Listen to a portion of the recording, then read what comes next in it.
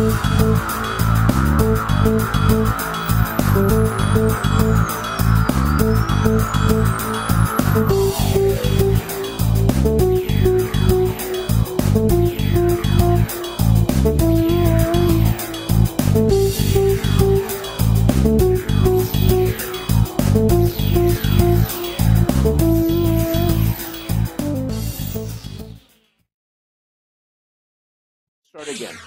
Hi. I'm delighted to welcome you all to the 2020 Hugo Awards ceremony. I am your host for the evening, George R. R. Martin. Those of you who were present at last year's Hugo Awards may know me best as the author of A Game of Thrones. Of course, I thought I would be doing this in person in Wellington, New Zealand, on a stage. Instead, I'm coming to you from Santa Fe, New Mexico, from my own theater, the Jean Cocteau Cinema, which of course is closed down and quarantined, as you can see. Uh, and I'm going out all over the world. Uh, this is truly a world con. You know, this would have been the first time Worldcon had ever gone to New Zealand. And I know a lot of us were looking forward to going to New Zealand for the first time or returning to New Zealand if we've been lucky enough to be there before. It's a, it's a gorgeous country. Um, and I think the fans of New Zealand, who are an amazing, hospitable, friendly bunch, were looking forward to welcoming the world to their doorstep. Sadly, that hasn't happened thanks to the coronavirus. And uh, we're exploring new territory here. So we're going to see how this uh, virtual stuff works with uh, Zoom and Discord and this, that, and the other thing. But there are advantages to this. And one of them is that I think the, the global reach of the convention, if anything, should be greater. Um, had we been in Wellington, of course, we would have had a lot of uh, Americans. They they turn up wherever the convention is. Probably a good deal of Brits too. We would have had a lot of New Zealanders, Kiwis attending their very first convention. We'd have had a lot of people from Australia or the West Island, as the New Zealanders call it. Uh, possibly a lot of people from Asia as well. Um, some from Europe. Who knows? But I think because we're on the internet, we're global we're probably being seen in countries by people who would have no chance to make the convention had it been in person. And I want to reach out to those people and say a special welcome. Um, fandom, science fiction, fantasy fandom, uh, goes all the way back to the 20s and 30s. And almost from the start, it's always been a global community. We're united by our love of science fiction and fantasy by the books and the movies that uh, we grew up on and cut our teeth on and enjoyed. And those books and movies have been translated into languages all over the world. So I want to welcome uh, the people who could have come, but also the people who could not have come, who may be watching it today. I, I hope uh, that we're being watched all over Europe. I hope uh, a lot of my friends in Spain, an amazing country, are, are plugged in here. Um, the people from Portugal, the people from France and, and um, Germany, Sibel, I hope you're watching, um, from Scandinavia, from Eastern Europe, uh, the, the, great fans that I've met on my travels to Croatia and to the Czech Republic and the other countries of Eastern Europe where I hope to go. I hope we're being watched in the Arab world. I want to say a special thanks and a salute to the fans from Saudi Arabia who just bid for a Worldcon, and I hear they're going to do it again. But from the rest of the Arab world too, I hope we're being watched in, in Egypt and in Morocco and in the whole rest of the world. And I hope we're being watched in India and Nepal and China, which is bidding for a Worldcon, in Japan, um, in South America. I hope we're being watched in Africa. I know we have Nnedi Okorafor, the wonderful Nigerian American uh, author, is uh, and friend of mine is one of our presenters tonight. I hope some of her friends from Lagos are, are tuning in to see tonight. So, yes, I've probably left out 150 countries. No offense done. I don't have a list of every country in the world here, But I'm going to be interested at the end of this to see how many countries we were watched in, how many people have watched this from all over the world, because I think the more, the merrier. Worldcon is and should be a Worldcon, and uh, I, I hope to go to many of the countries that I've never been before and meet my readers there, meet the fans there, learn a little about their culture, eat their exotic cuisine, and uh, strengthen the bonds of fandom, which is truly an international community. Now, last year's ceremony was in Dublin, of course, and many of you were not present for that.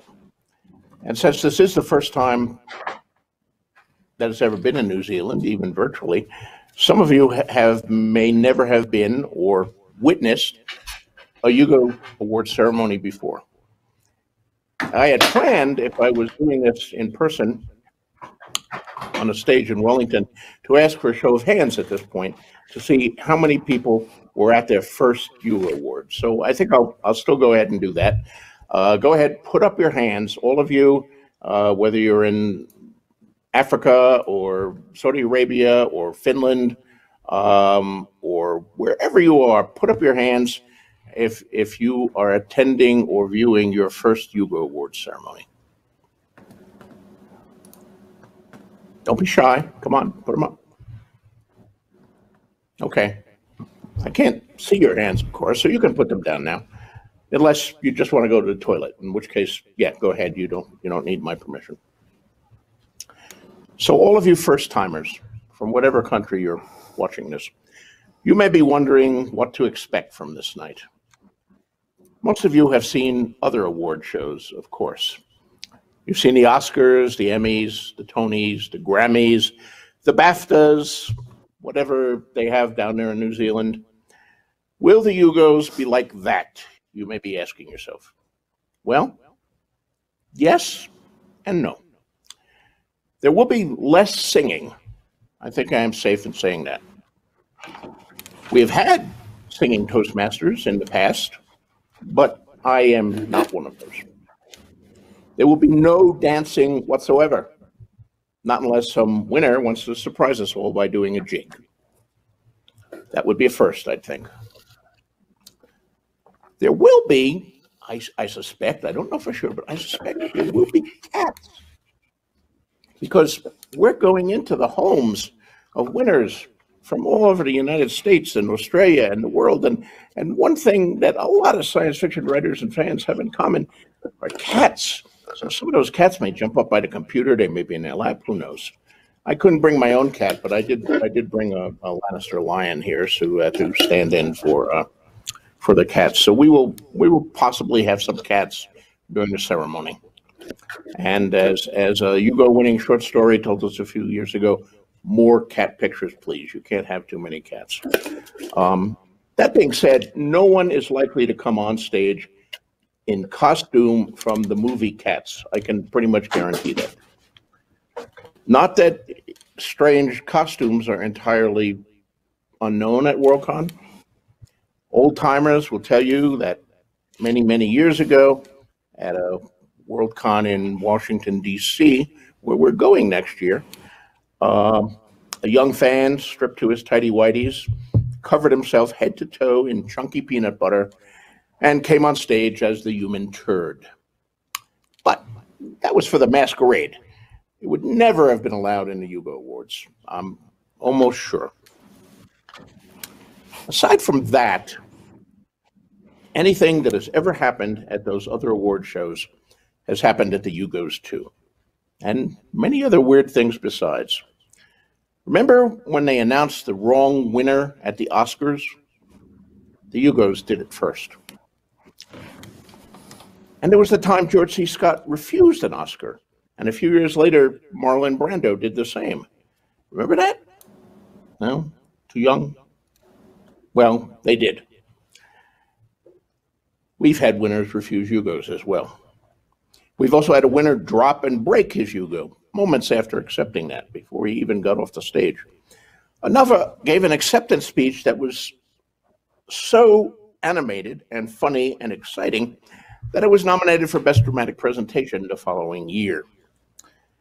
And one of my predecessors as Toastmaster conducted the entire ceremony while on roller skates. On a stage was slightly tilted, so he was always in danger of rolling off into the laps of the people in the first row. You won't see that at the Oscars. And I can promise you, you also won't see it here tonight. I, I, you have my word. I am not on roller skates. I make no promises about pants. Hosting these awards is is uh, no easy gig, let me tell you. Last year in Dublin, um, they had the artist Afua Richardson, who draws, plays the flute, and sings beautifully. I don't draw. I can't play the flute and you have to get me really drunk to get me to sing. And then it's old, only old TV theme songs. Back in the last century, uh, the Hugos tended to call upon the same hosts to preside over and over again at the Hugo Award ceremonies. They found someone who was good at it, and they called upon them multiple times. There was the ebullient Isaac Asimov, the Bob Hope of science fiction.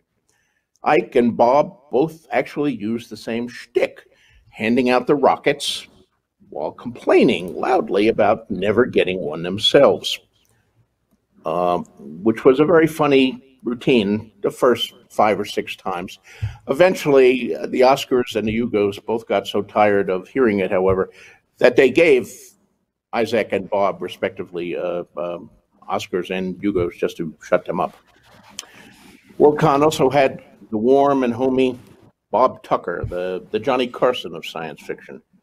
We had Robert Bloch, author of Psycho, dry witted, self effacing, who liked to say he had the heart of a small boy in a jar on his desk. Worldcons that felt especially bold would call upon Harlan Ellison, the Ricky Gervais of science fiction. Collecting an award from Harlan took a certain amount of courage. And of course, Worldcon often had Robert Silverberg, who has told me that he would like to be called the Cary Grant of science fiction, but I don't know that I want to go there. Silver Bob is the only man to have attended every Hugo ceremony, from the first one in 1953 right up until tonight. During that time, he has won a few rockets himself, lost quite a few more, and handed out more than anyone can possibly remember. Silverberg was the Toastmaster at the very first Hugo ceremony I ever attended. It was 1971 in Boston at Noreascon 1, and I, I remember it vividly. In Hugos, as in sex, you always remember the first time. The past is another country, as they say, they do things differently there. In those days of yore, when legends walked the earth, and I still look like Kit Harington, the Hugos were presented at a banquet. Worldcons were in hotels in those days, not in convention centers. So you'd get the usual hotel food rubber chicken, bouncing potatoes, overdone steaks, and something hideous for the vegetable people. Then, off as not, you'd get speeches from the guests of honor. And finally, the Toastmaster would come out and give away the rockets. Of course, it costs money to attend those banquets, sometimes as much as seven bucks. And in 1970 way, 1971, no way I had that kind of wealth. It had taken all the nickels I could spare to pay for the Greyhound up to Boston from New Jersey. The Concom did provide for people like me who wanted to watch the Hugo Awards but could not afford the rubber chicken. After the diners were done dining, they opened the door to the banquet, to the balcony above the ballroom, and those without a banquet ticket were allowed to come in and watch. That's how I viewed my first Hugo Awards. There wasn't enough seats so I stood for the entire ceremony, looking down on the winners and the losers alike, watching Robert Silverberg award the Rockets. Slender, elegant, sardonic, with dark hair, and a dark pointed beard that made him look not quite so much like Cary Grant and maybe a little more like Satan. He was eloquent and witty, as polished as any Oscar host, the consummate Toastmaster. I had sold two stories by that point in my career. One had actually been published, and I was on my way to Chicago to begin alternative service with Vista. I had a master's degree in journalism, freshly minted, and was still half thinking that maybe I'd pursue reporting as a career and write fiction on the side, like, Clifford D. Simak, who was the guest of honor at that WorldCon. But that night, that Hugo ceremony got into my blood. I want to be a part of this world, I remember thinking. Someday, I want to be up on that stage. Someday, I want to win a Hugo. Now, I don't ever recall thinking, someday I want to hand them out. But here we are. 39 years later, 39 Hugo Award ceremonies, and I'm the host. And I finally have a chair. Anyway, let's give out some awards. We should open our Hugo Awards by giving out two awards that are not a Hugo. These two awards, one quite new and one dating all the way back to 1973, are voted on by the members of WorldCon in the same way as the Hugo Awards and presented with them, but the winners do not receive the coveted silver rocket ship, and the World Science Fiction Societies have not determined the eligibility rules. The first of these, the baby, is the Lodestar Award for the best young adult book of the year. The Lodestar may be uh, relatively new, but young adult books are not. In the old days, when dinosaurs ruled the earth, we called them juveniles. Robert A. Heinlein wrote one a year for most of the 1950s, and those famous Heinlein juveniles were the books that opened the doors to science fiction for many of the writers of my generation, myself included. One of them, Have Space Suit Will Travel, was the very first science fiction book I ever read. I gobbled down all the Heinlein juveniles after that and went on to Andre Norton, Ace Doubles, and ah, the eight volume Tom Corbett series. Tom, Roger Manning, Astro, the crew of the Polaris, ah, I was hooked after that. There was no Lodestar back then, but Have Space Suit Will Travel was nominated for Hugo in 1959 and lost to James Blish, one of Heinlein's few Hugo defeats. Had there been a Lodestar, I suspect Heinlein would have won it. There was no Lodestar in 2001 at Millennium PhilCon either. A real pity. If there had been, maybe Harry Potter wouldn't have kicked my ass. We have a Lodestar now, though, and this year's nominees are Catfishing on Catnet by Naomi Kritzer, Tor Teen. Deep Light by Frances Hardinge, Macmillan. Dragon Pearl by Yoon Ha Lee, Disney Hyperion. Minor Mage by T. Kingfisher, Argyll. Riverland by Fran Wilde, Amulet. And The Wicked King by Holly Black, Little Brown Hotkey.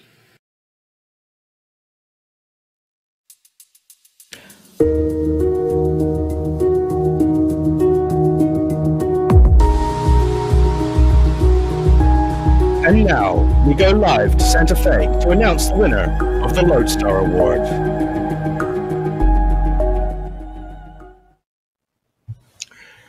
So, just to be clear what's happening here, you just saw videotaped me recording the introduction and reading the winners some time ago. And now you're back to live me at the Cocteau Theater.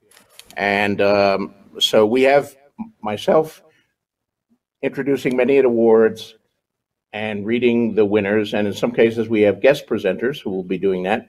Most of them are videotaped.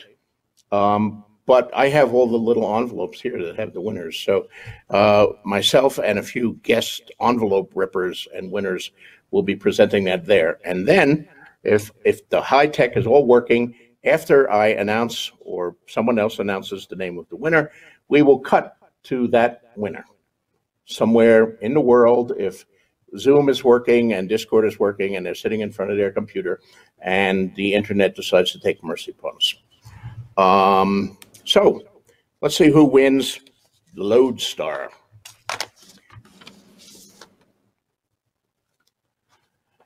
It's a good night for cats. The winner is Catfishing on Catnet by Naomi Kritzer.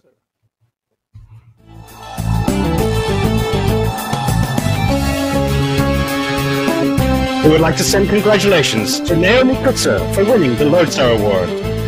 Kamau Tewehi. Thank you all so very much for this honor. Catfishing on Catnet is a story about the power of online friendship, about how online friends are real friends and the virtual world is a real place that can provide kindness, support, love, meaning, and understanding. This year has forced all of us to explore ways to connect through virtual space and to discover both its strengths and its limitations. Thank you to everyone who read this book, and I'm so glad that it spoke to you. I would like to thank my editor, Susan Chang, for her insight, patience, and encouragement, as well as all the members of the Wordsmiths Writers Group, Lyda Morehouse, Eleanor Arnason, Theo Lorenz, Adam Stemple, and Kelly Barnhill. Finally, I would like to thank my husband, Ed, and my children, Molly and Kira, who are just off camera, who have given me love, support, belief, and occasional slack with household chores when deadlines were imminent. I love everyone in this bar. Thank you all so much. The second of the two Not a Hugos that we will be presenting tonight is the Astounding Award for the Best New Writer in Science Fiction or Fantasy, sponsored by Dell Magazines. To be eligible, you must have been published for the first time in the preceding two years. It is worth mentioning that while the New Writer Award is not a Hugo, that has not always been the case. In 1953 at Philadelphia, Philip Jose Farmer was given a rocket for Best New SF Author or Artist, a somewhat odd juxtaposition. There were no Hugos in 1954 and no New Writer Award in 1955, but in 1956, the third time the awards were given, they had a category called Most Promising New Author. The nominees were Henry Still, Frank Herbert, Harlan Ellison, and Robert Silverberg. The award was won by the teenaged Robert Silverberg, who did not look quite so much like Satan at that time. He remains the youngest winner in the history of the Hugo Awards. Worldcon gave him an Oldsmobile hood ornament fastened to a plank. And then, looking at the nominees, Herbert, Ellison, Silverberg, thought, well, that's not working, and promptly abolished the award. They tried it once more in 1959. Faced with a choice between Kit Reed, Brian W. Aldiss, and several other promising newcomers, detention gave the Hugo to no award. Damn, tough town, Detroit.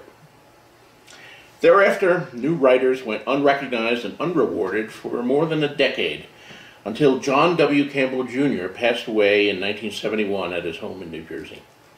Himself a new writer in the 1930s, both under his own name and the pseudonym Don A. Stuart, Campbell had taken over the editorship of the pulp magazine Astounding Stories of Super Science in late 1937 and transformed it into the most important science fiction magazine of the time, first as Astounding Science Fiction and later as Analog. He also founded and edited the influential fantasy magazine Unknown. Widely regarded as the architect of the golden age of science fiction, Campbell was best known for his work with new writers.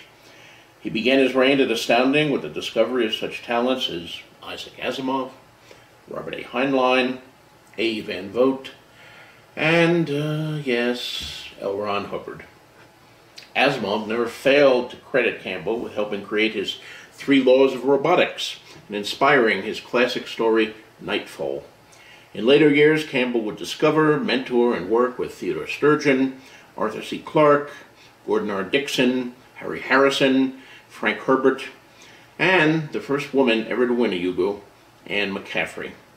In recognition of his lifetime of work discovering and promoting new talent, Analog's publisher at the time, Condé Nast Publications, created the John W. Campbell Award for the Best New Writer and asked Worldcon to administer it.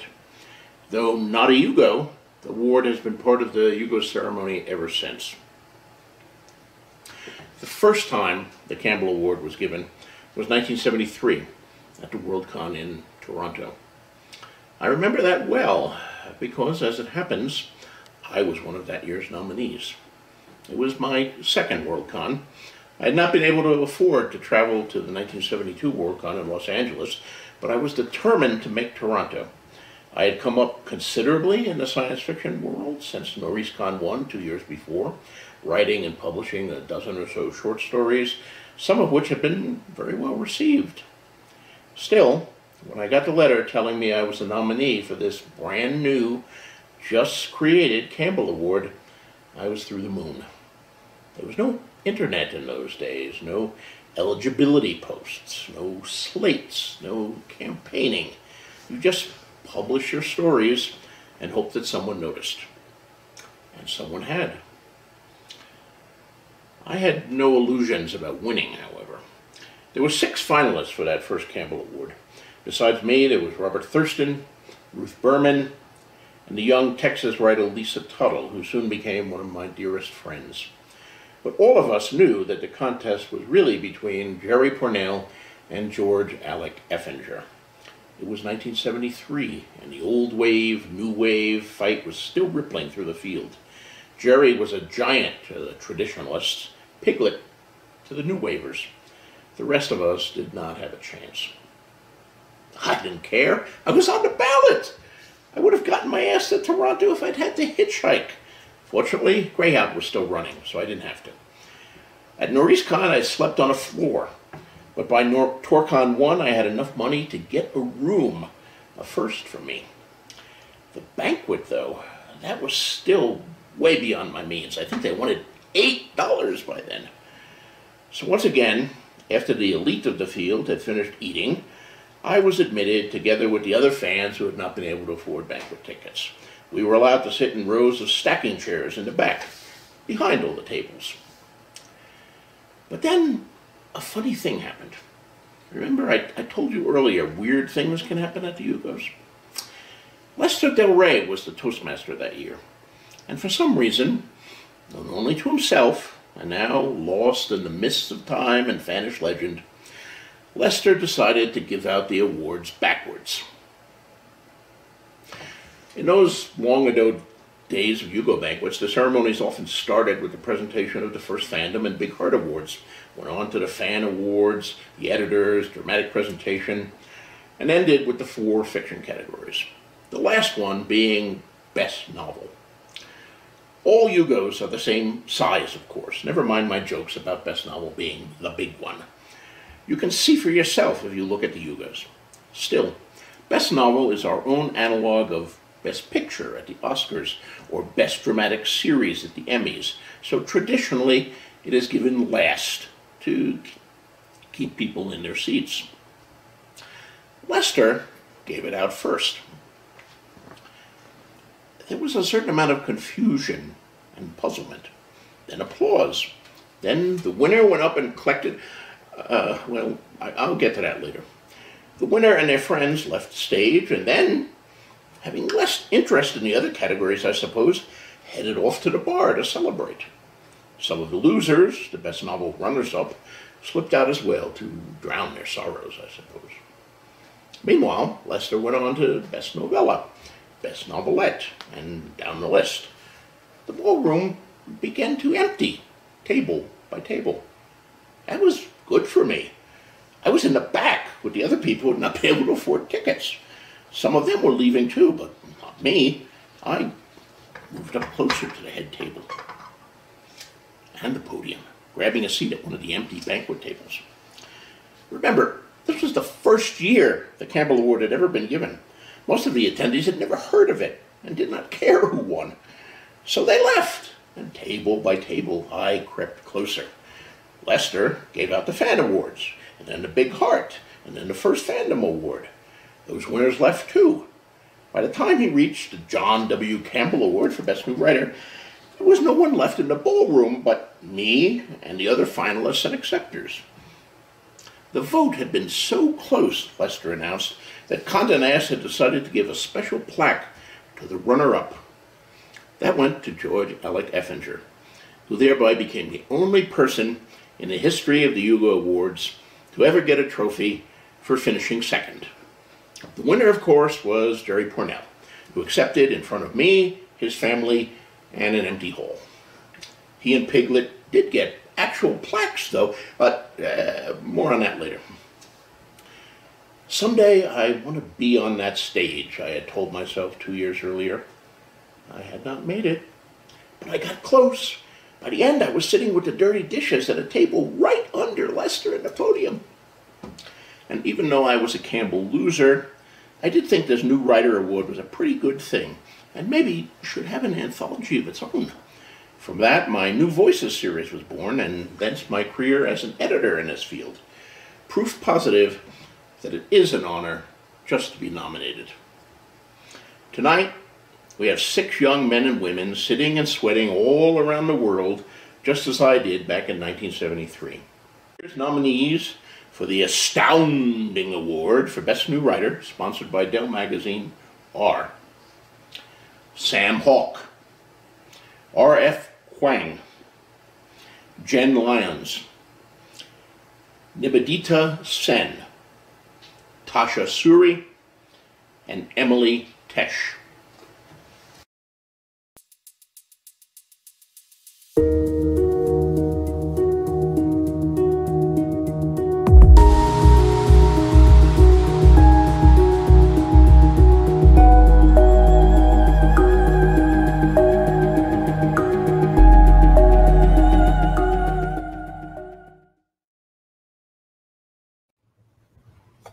Here I am again with another envelope. The winner of this year's Astounding Award for Best New Writer is Rebecca Kuang. Rebecca Kuang, congratulations. Our astounding new writer.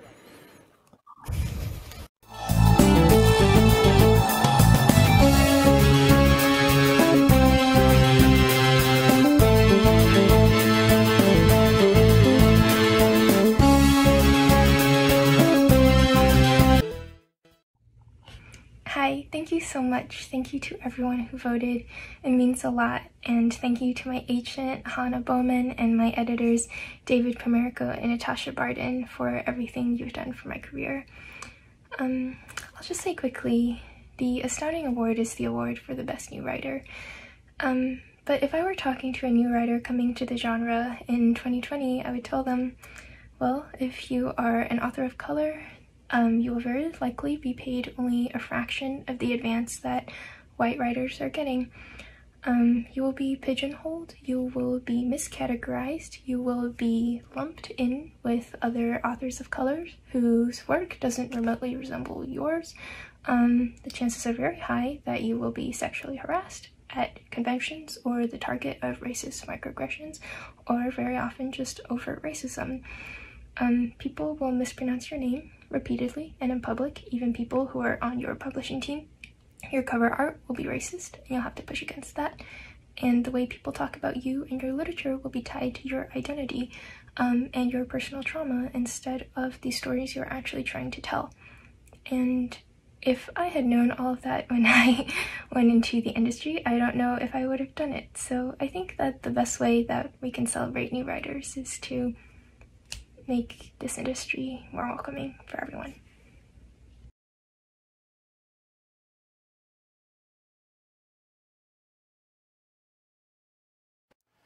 And now we come to the Hugo Awards.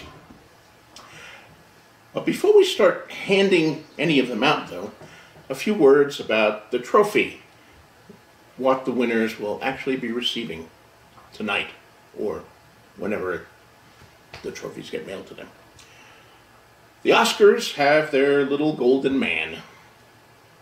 Well, actually, he's he's a golden eunuch since he has no. Uh, well, you know about that.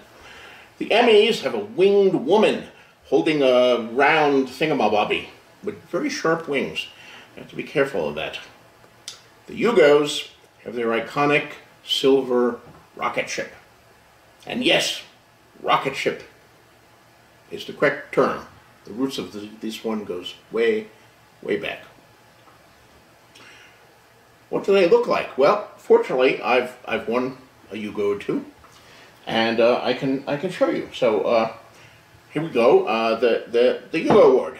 Um, this uh, actually is a tripod. It looks it looks more like a Martian war machine. Come to it than it does a, a Hugo Award.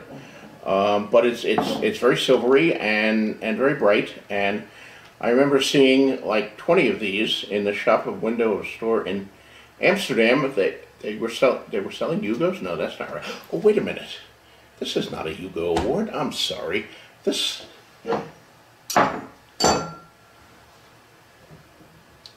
This is a juicer. yes, uh, it, it, wonderful. You know, if you don't have an automatic one, this kind works best. It goes right down there, and uh, you have wonderful, tasty orange juice or grapefruit juice. Uh, I'd like to see you do that with a Hugo. It really doesn't work very well with a Hugo. Don't try that at home. But the juicer works uh, works very well. So we'll we'll put that over there. I'm sorry, that was a mistake. But the juice is good. Mm. Excellent. Uh, fortunately, I do have a Hugo award. Here we go.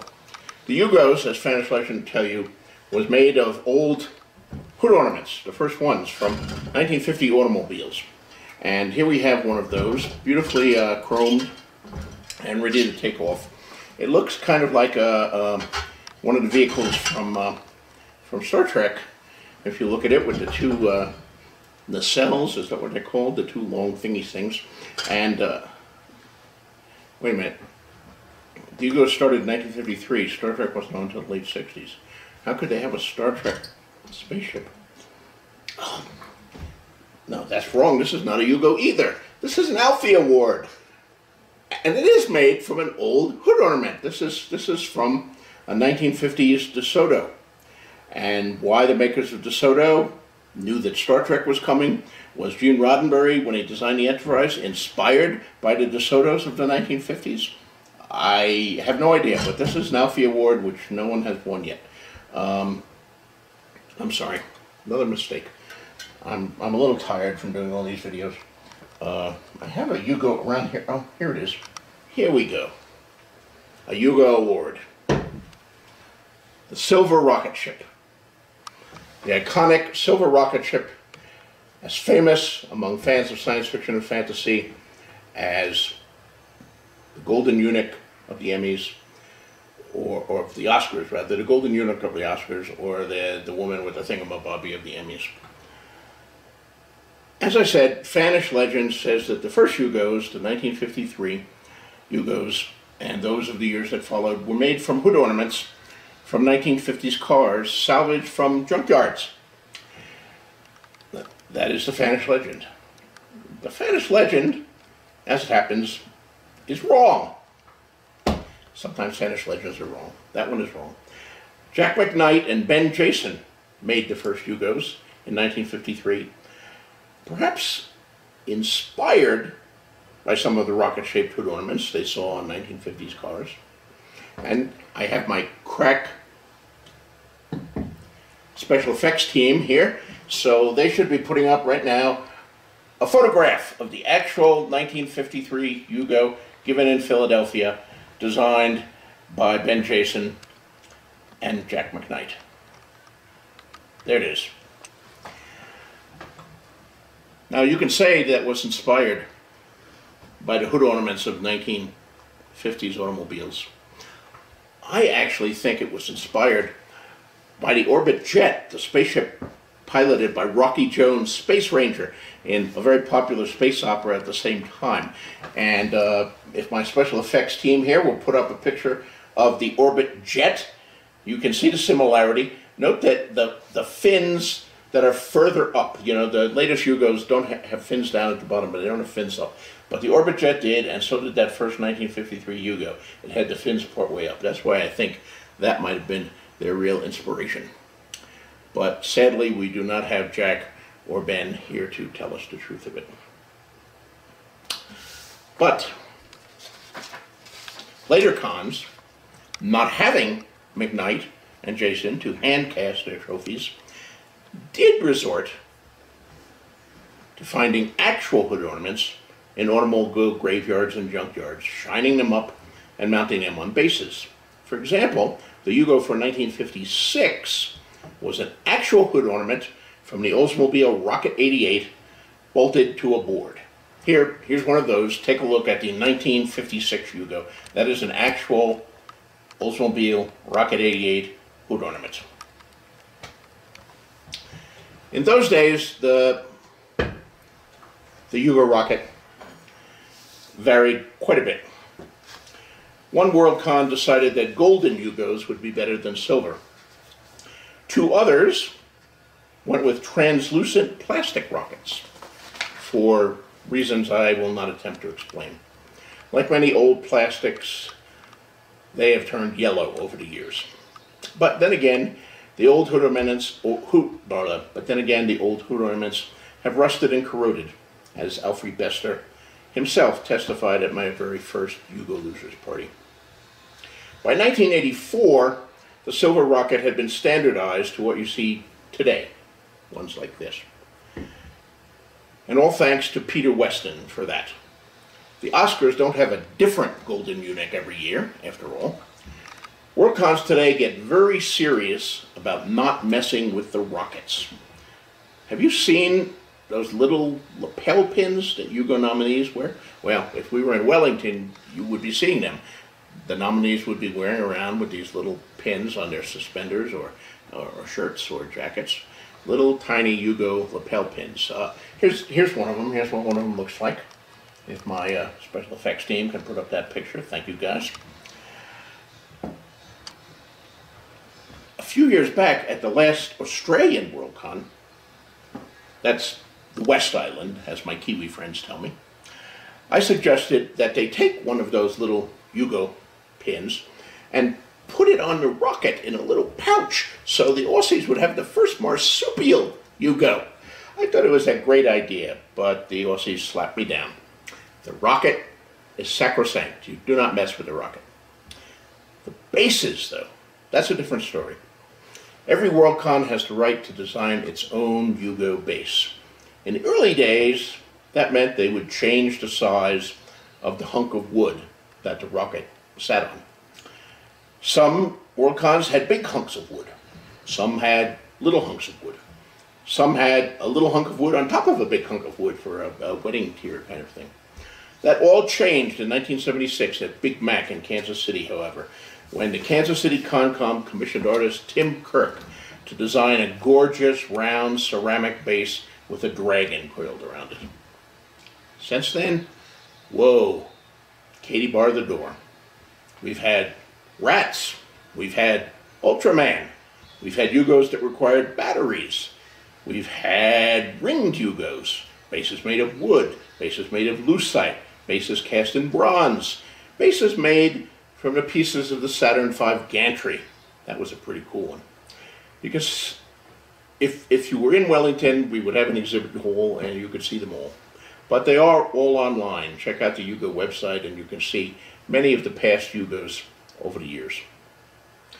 This year's base was designed by a New Zealand artist, John Flower. So we're going to bring him out now to hear a bit about his design for Con Zealand's Hugo Award. John Flower, ladies and gentlemen. Hello, my name is John Flower. I live in Palmerston North, New Zealand, and this year I had an opportunity to present a design for the base for this year's Hugo Awards. And the concept I came up with was to create a base made out of black glass, and on the base we have a bunch of hands, and they were used by early explorers, the Māori who came to New Zealand, to navigate through the Pacific. And the idea is that depending on how many fingers that you hold up, you can measure the angle between a set of stars and the horizon and work out where you are. For example, if you have the Southern Cross, which is made up of four stars, you can measure the distance between the top star and the bottom star. And if you rotate your hand like that, so it's say three fingers distance, down to the horizon, then you know that you have due south when you're in the southern hemisphere. So each of these gold hands is a different number of degrees, and the constellations within there are known in New Zealand as Matariki. In other places, they're known as the Pleiades or Subaru in Japan. And there are a group of stars that show up in New Zealand somewhere between May and June. And in New Zealand, they're recognised as the beginning of the new year. We did all the design work using open source software like Blender and Inkscape. So here we have a sheet of Paua. Paua is a mollusk found off the shores of New Zealand. Uh, they've taken the shell of it and flattened it out. We have used a laser to cut a spiral design in it. The spiral design combines the Milky Way with the pattern of endemic ferns of New Zealand. So we've cut out from here and if we move the sheet we can see what we've created. So that's cut out from the middle. And the idea is that on top of this Paua, we will seat a timber design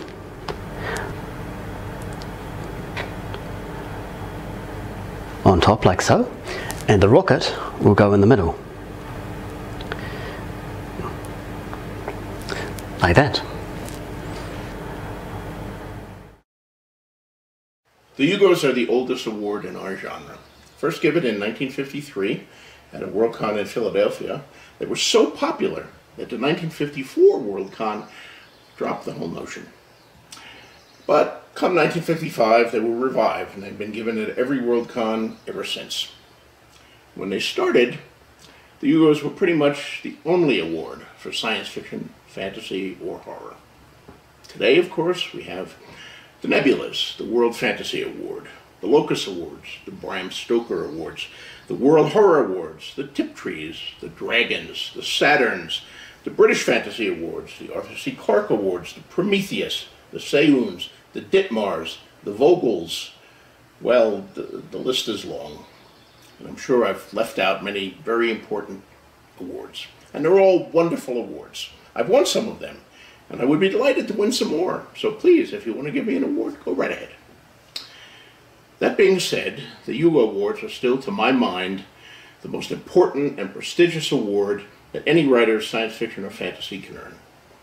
The true worth of any award is determined not by how many people have voted on it, or how big the cash prize is, or who's on the jury, or how handsome the trophy, although those are all nice to know too, but rather by its winners, and yes, by its losers too.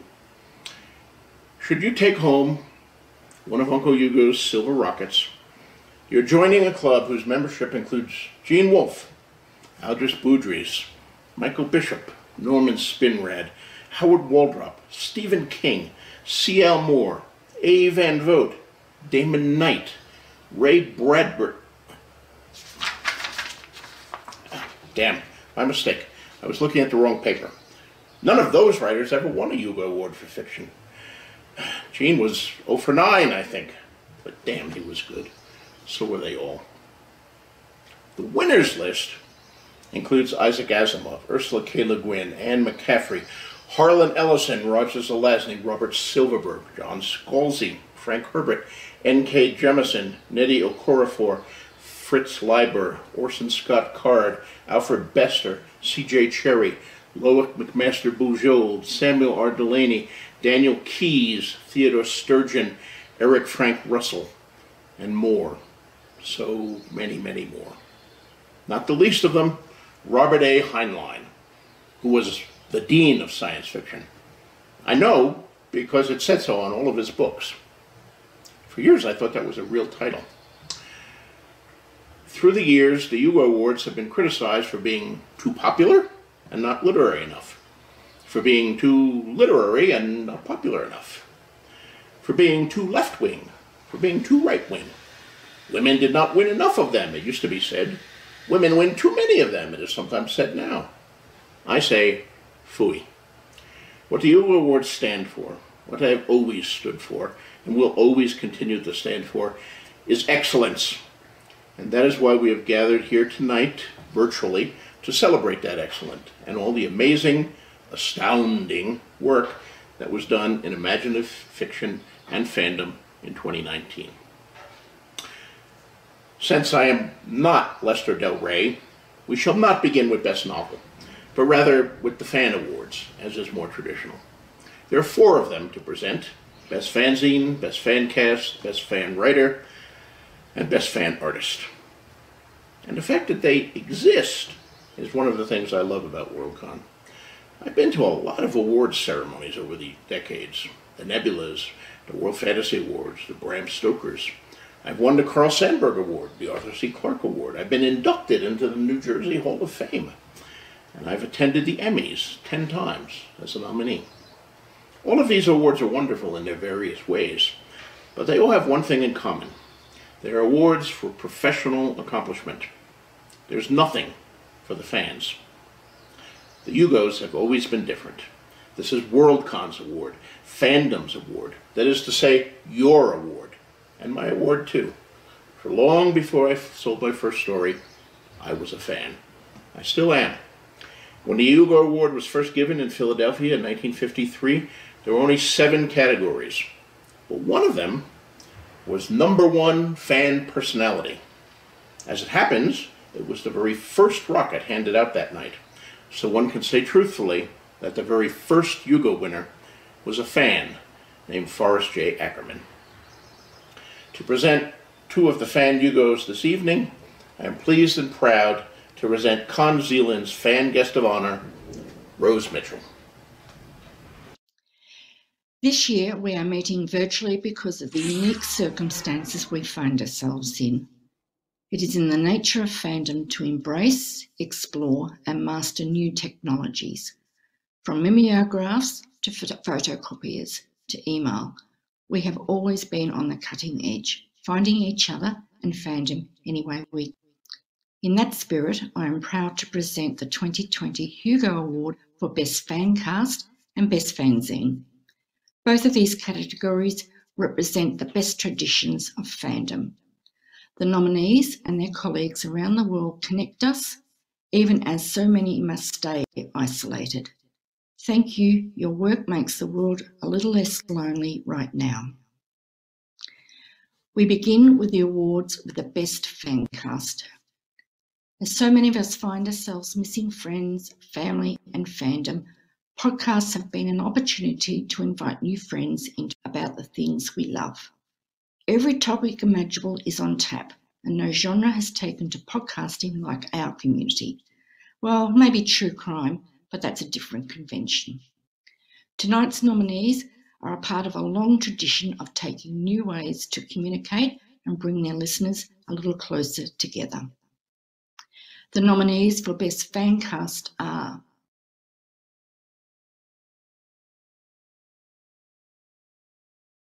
Jennifer Mace. Claire Rousseau's YouTube channel, produced and presented by Claire Rousseau. The Coode Street podcast, presented by Jonathan Strahan and Gary K. Wolfe. Galactic Suburbia, presented by Alisa Krasnostein, Alexandra Pierce, and Tansy Rayner Roberts. Producer Andrew Finch. Our opinions are correct, presented by Annalie Newitz and Charlie Jane Anders. The Skiffy and Fanty Show, presented by Jen Zink and Shaun Duke.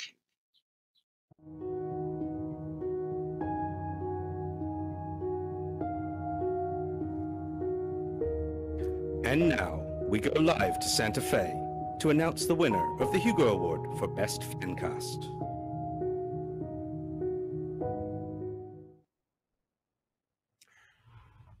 Hi there. It's me again. It's hello in my fanish regalia. And uh, I am a fan as well as a pro, but I thought for these categories, in opening the envelopes a little fanish help. So I've brought in Raya Golden, one of my mighty minions, and Raya is a second generation fan. Uh, her mother was a, a, fan before her, and uh, for a long time, the best friend of uh, of my wife Parris, who sadly could not be here tonight. And they're both uh, they're both true fans back from the 70s. And uh, I would like to say that Raya was actually conceived at a Worldcon. Um, but the truth is, she was conceived at Ringling Brothers Barnum and Bailey. But you know, it, pretty much the same thing. So uh, there they are. So Raya, who won Best Fan Cast? Let's find out. Let's find out. Breaking the seal. Ah, here we go. And the winner is our, opin- our opinions are correct, presented by Annalie Newitz and Charlie Jane Anders. Yay!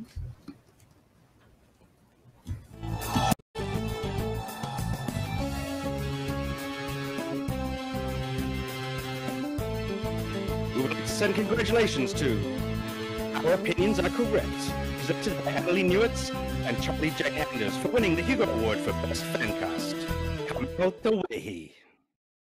Thank you so much for this award. This really means so much to us. Yeah, it's especially great because we're an entirely listener supported podcast. So you listening and donating is what helps us live. Our podcast is explicitly about the relationship between science fiction and society, and we believe that the unexamined story is not worth reading or writing. And Science fiction is political because everything we do is political, and we believe that stories become richer and more meaningful the more we analyze them. And right now, more than ever, we need stories that tell us about how we can rise up and change the world. But at the same time, we also need stories that help us escape, just to ease our pain and give us hope that this too shall pass. So we thank you so much for writing those stories and for believing in them. And also, we thank our producer, Veronica Simonetti at Women's Audio Mission in San Francisco, where, where we record this podcast. And I'd like to thank Jesse Burns and Chris Palmer, my partners, who put up with all this nonsense. So thank you so much, thank you guys. You. Bye. Have been a vital lifeline connecting fans with each other when there was almost no other way. As new technologies come online, fanzines adapted but never lost sight of their core mission to connect, celebrate, and inspire fans and keep fandom alive and bright, vibrant. Many fanzines are online. Some still get mailed around, but they are all spring from a deep passion for genre, community, and fandom. No more than ever, that connects us should be cherished and celebration. Fanzines represent a thread back to the very beginning of SF and fandom, and tonight's nominees are all examples of the variety and depth you can find in today's generation. The nominees for Best Fanzines are The Book Smugglers, editors Ana Grilo and Thea James. Galactic editor Janice Marcus, senior writers Rosemary Benton, Lorelei Marcus, and Victoria Silverwolf. Journey Planet, editors James Bacon, Christopher J. Garcia, Alissa McKersie, Anne Gry, Chuck Serface, John Coxon, and Steven H. Silver.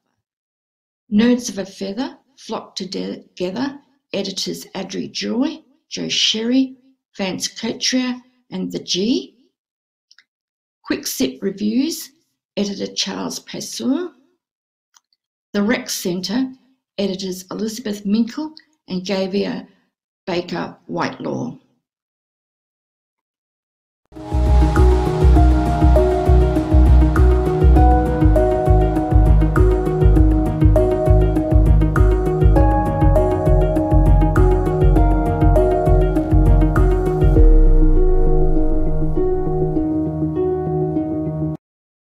Fanzine is The Book Smugglers, editor Ana Grilo and Thea James.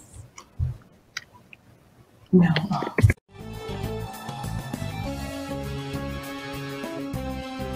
We would like to to send congratulations to the book smugglers, editors, Hugo and Thea James for winning the Hugo Award for Best Fancy. Kamau Tawihi. Uh, we are being wholly, utterly honest when we say, holy guacamole, we did not see this coming. Thank you, fellow fans, readers, writers, and creators so much. We know that it can be frowned upon to be political at the Hugos, but we also know that everything is political. So at that, we've been running the Book Smugglers for 10 years, over 10 years, as two loud, opinionated women on the internet. One of us Filipino American and the other Brazilian. Um, and we've been giving space to diverse voices to be heard, read, and seen. Um, and we know that's even more important now than it has ever been, especially in the fight for social justice in the face of fascism, systemic oppression, and racism around the world. Black Lives Matter.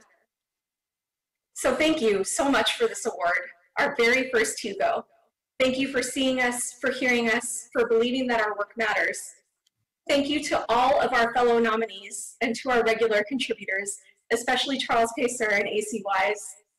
Thank you to all of the readers and friends who have supported us throughout the years.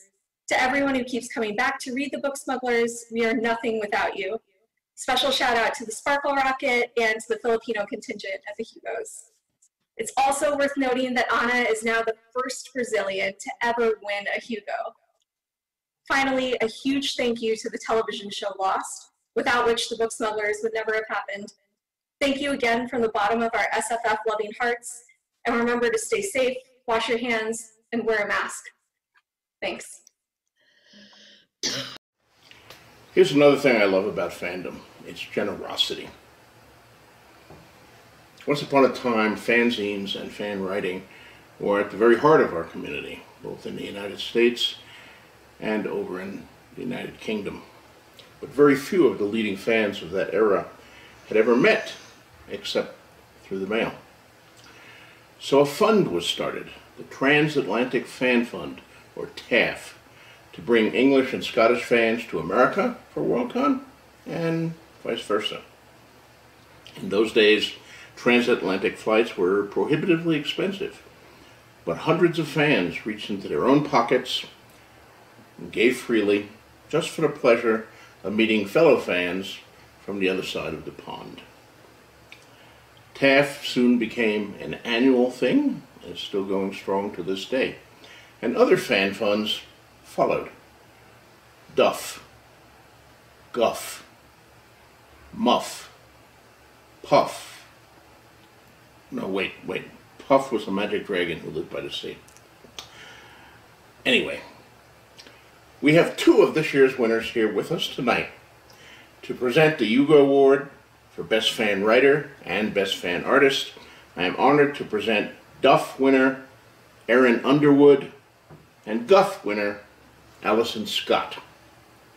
Puff winner Little Jackie Papers could not be with us tonight. Hi, I'm Erin Underwood. I'm this year's Down Under Fan Fund delegate. Science fiction and fantasy fans are notoriously passionate about their favorite works, and many of them are also gifted writers with a unique and irreplaceable role within the science fiction and fantasy community. Fan writers are the voices of fandom, asking the hard questions, satiating the curious, and creating new content that we, their fellow fans, are hungry to consume. They exemplify the passion, curiosity, and creativity of our community with every word that they write. Tonight, we celebrate the best of them. The finalists for the 2020 Fan Writer Hugo Award are Cora Buhlert, James Davis Nicoll, Alasdair Stuart, Bogi Takács, Paul Weimer, and Adam Whitehead. Good luck.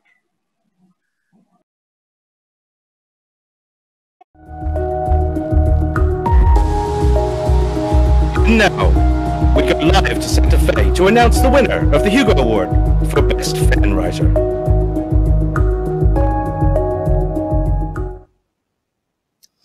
Ah, and the winner is Bogi Takács. Yay!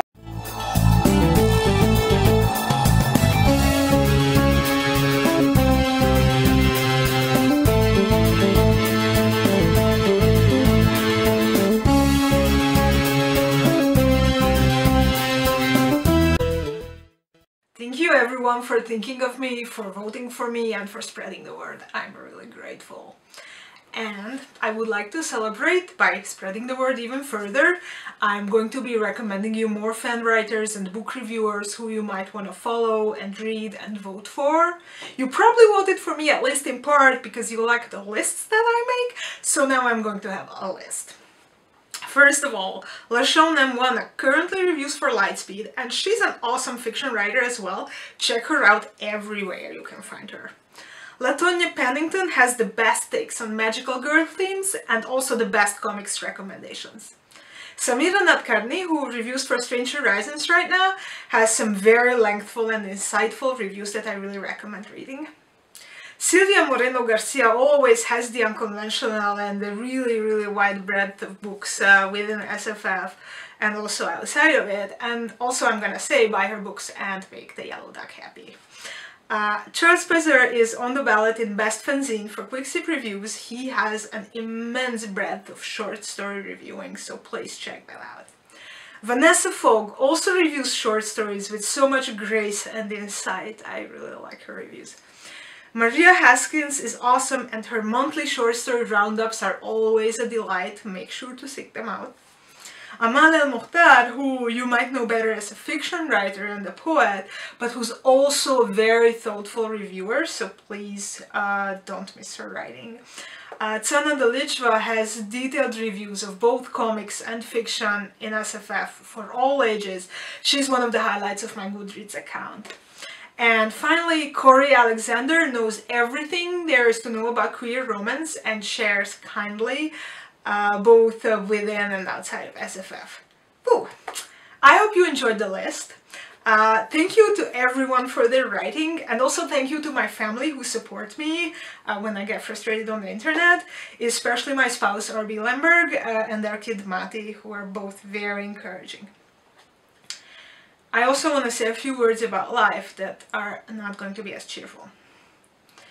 In both of my countries of citizenship, political extremism has been on the rise.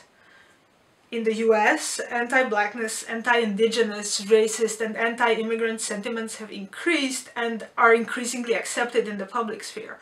While in Hungary, the government is demolishing independent media and curbing the civil rights of minorities while the EU stands by and does nothing most recently trans people have been attacked. It would be false to assume that these events do not influence speculative fiction, and fandom in particular.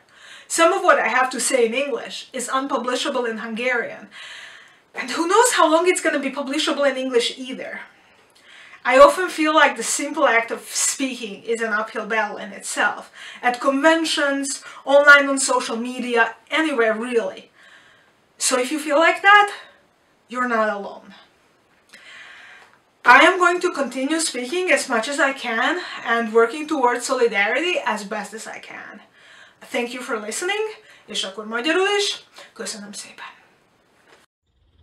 Hi, I'm Alison Scott and I'm this year's GUFF delegate. The Going Under or Get Up and Over Fan Fund exists to forge links between European and Australian and New Zealand fandom. I'm a UK fanzine fan and con runner who loves meeting new people, and I'm thrilled to be virtually visiting New Zealand this weekend.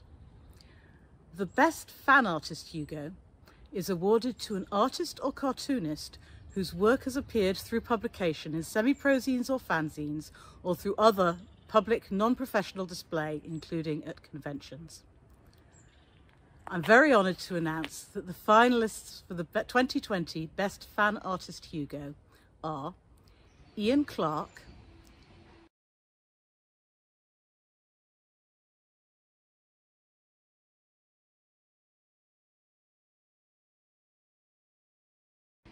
Sara Felix,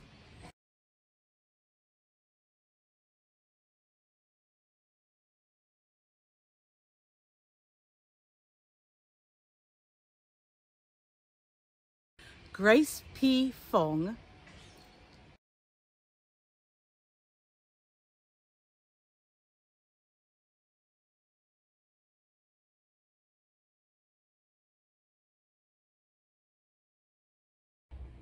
Meg Frank,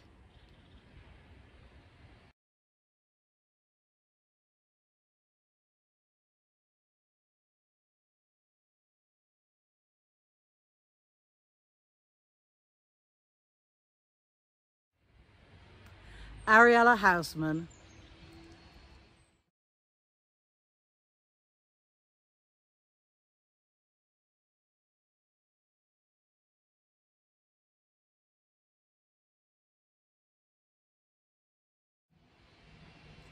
and Elise Matthesen.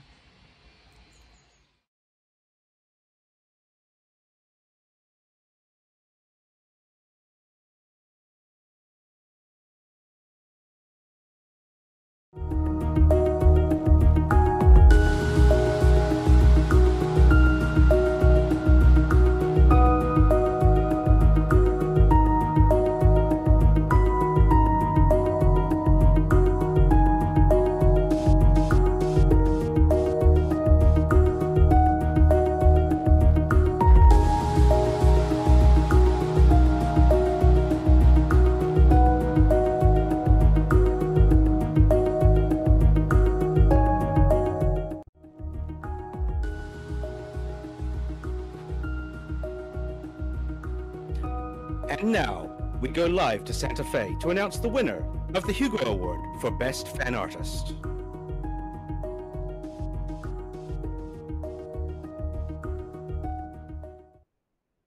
Oh, and the winner is Elise Matthesen. Yay!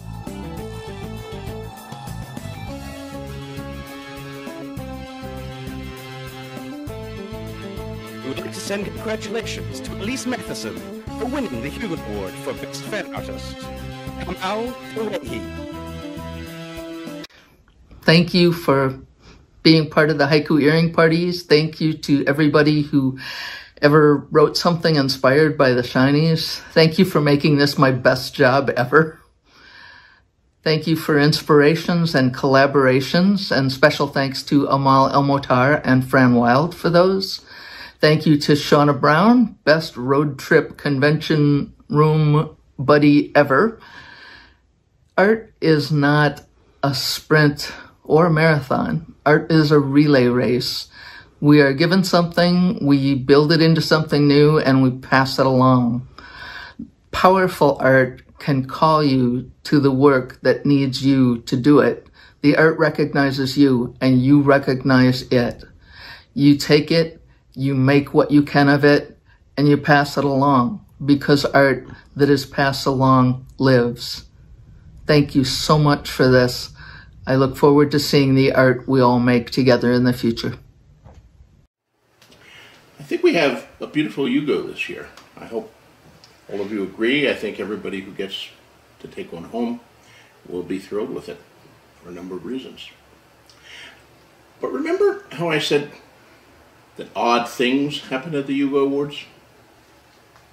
Remember I, I was telling you about 1973, the year of the first Campbell Award, when I lost my first major award in an almost empty hall. As it happens, there was something else that happened that year. Now remember, I'm a fiction writer. What follows is purely fiction.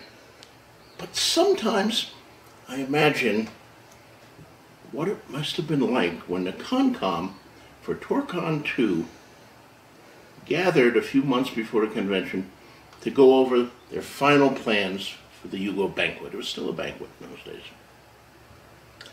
I can imagine the chair sitting there at a table with his committee around him and saying, let's see, we want to make sure everything goes right.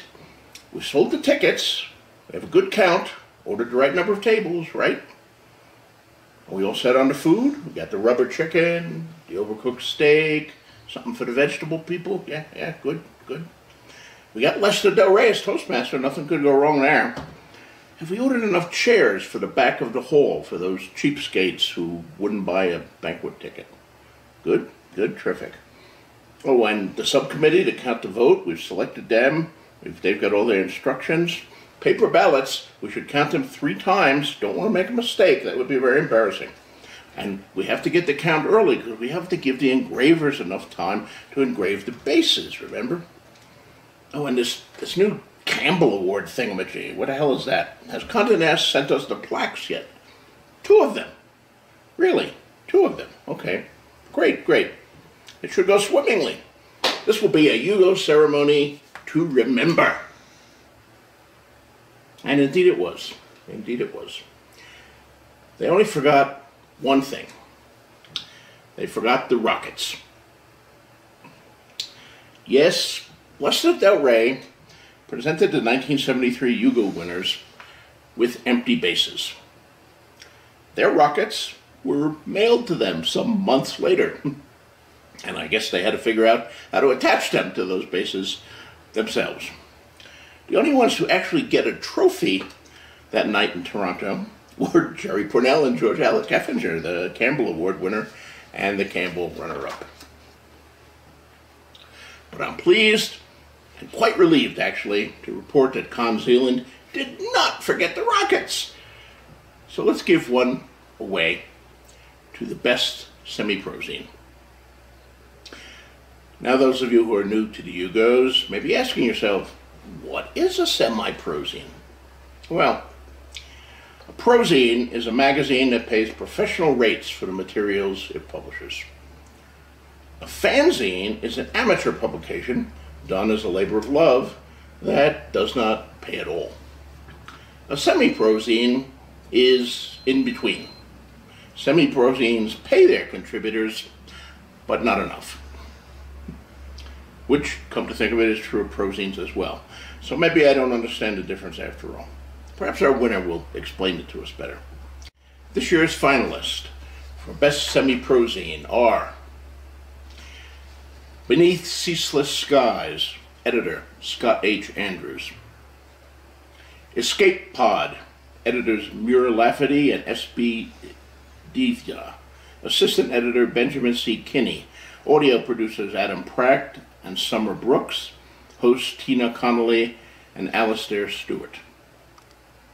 Fireside Magazine, editor Jul Julia Rios, managing editor Elsa Sjunneson, copy editor Chell Parker, social coordinator Meg Frank, publisher and art director Pablo Defendini, founding editor Brian White.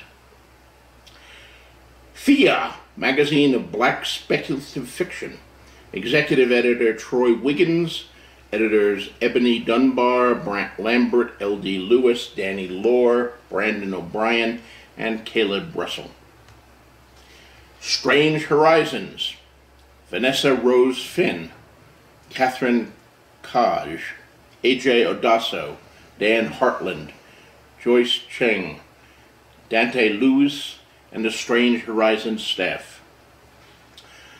Uncanny Magazine, editors-in-chief Lynn M. Thomas and Michael Damian Thomas, nonfiction managing editor Michi Trota, managing editor Chimedum Ohaegbu, podcast producers Erica Ensign and Steven Schapansky.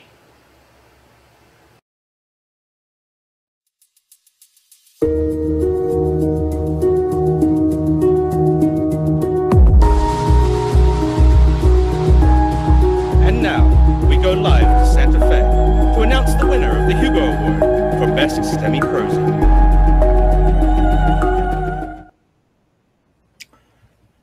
and the winner of the Hugo for Best Semi-Prozine, Uncanny Magazine. Editors-in-Chief Lynn M. Thomas and Michael Damian Thomas.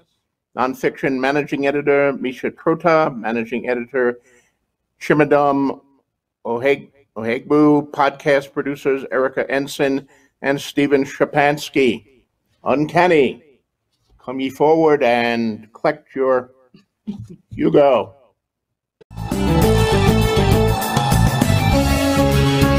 We would like to send congratulations to Lynn M. Thomas, Michael Damian Thomas, Michi Trota, Chimedum Ohaegbu, and team for winning the Hugo Award for Best Semi-Prozine. Kamau Erwihi. We are so deeply honored by this Best Semi Prozine Hugo Award, and we really wish that all of us could have been together in person tonight.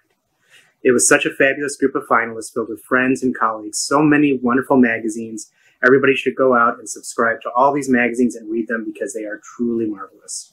Uncanny Magazine is the work of numerous people, so we want to thank our 2019 regular staff of Michi Trota, Chimedum Ohaegbu, Erica Ensign, Steven Schapansky, Joy Piedmont, Angel Cruz, and Caroline M. Yoachim.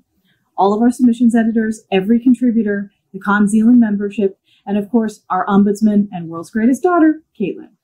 And finally, a thank you to every single member of the Space Unicorn Ranger Corps. We couldn't do this without the support of our community. Shine on, Space Unicorns! Hi, I'm Chimedum Ohaegbu, Uncanny Magazine's managing editor, and this is my first ever Hugo win. I'm the first black woman editor to win a Hugo in the semi-prosing category. Not the first to be nominated, but among the first. And it's an odd position to be in because black women have always been here and deserving in the genre. Not just as writers, but also as curators, editors, and arbiters of what speculative fiction can look like. So, yeah, this has been a long time coming. And it's been a long year. We are literally in the middle of a pandemic, and despite that, black people here in Canada, down in the States, around the world, and yes, in science fiction and fantasy publishing, have had to fight for rights and respect we should already have. So we look to speculative fiction for respite or for stories to top off our rage, to imagine futures and presents free of police and policing, and for stories that are with us in the fight and that remind us what we're fighting for. I'm so glad that Uncanny has gotten to publish some of these stories, alongside other excellent publications doing the same. Thank you to our authors for letting Uncanny be home to your words. And thank you so much to my teammates at the magazine, without which this wouldn't have been possible. Editors in chief Lynn and Michael Thomas, managing editor Michi Trota, nonfiction editor Elsa Sjunneson, assistant editor Angel Cruz, podcast producers Erica Ensign and Steven Schapansky, podcast reader Joy Piedmont, interviewer Caroline M. Yoachim, and all of our submissions editors. Black writers, black stories, and black editors matter now. We mattered in the past, despite racist opinions and policies, and we will matter in the futures that we create, the histories that we reclaim, the horrors that we rework, and all of the speculative genres and arts. Thank you. Thank you to everyone who voted for and who has supported Uncanny. It's an honor to share this category with the teams behind Beneath Ceaseless Skies, Escape Pod, Fireside, FIYAH, and Strange Horizons, all of whom are doing stellar and inspiring work in SFF. I'm proud to call you my colleagues. This Hugo Award is especially meaningful because 2019 was my last year of eligibility as part of Uncanny staff. I can't express how grateful I am to have this award as an end cap to my time with Uncanny, which has been such a huge part of my life. To all of my 2019 Uncanny teammates, thank you for everything. I'm so proud of the work that we did together and thankful to have contributed to such an amazing publication and community alongside you all. I'm especially excited to see how Chimmy is now making the role of managing editor her own, and I am so lucky to have gotten the chance to know her while we were on staff together. I'm so proud of her.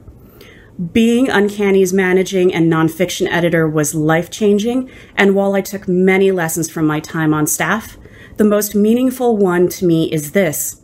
When you have the means to widen the doorway and bring others with you, especially if you have power and privilege, do it. We have a responsibility to be aware of the power we have and how we choose to use it because those choices can change everything, and that is especially important to remember now.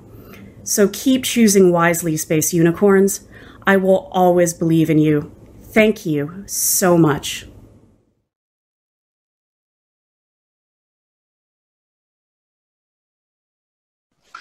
The Hugo ceremony is, of course, a time to honor the amazing work done by authors, fans, and editors. But it is also a time to remember the members of our community who are no longer with us. This has been a particularly difficult year. Under normal circumstances, Worldcon is our chance to get together with distant friends, many of whom we only see once a year, and forge a large science fictional family. In the science fictionally future year of 2020, we're learning new ways to keep in touch with each other. The COVID-19 pandemic, which has forced CoNZealand to be held virtually, is not just a minor inconvenience taking away our ability to travel. It is a deadly disease that has stolen members of our community from us. Since we saw each other last year in Dublin, we have had to say goodbye to past Worldcon guests of honor, convention runners, editors, authors, and fans. Let's take a few moments to remember our lost family members.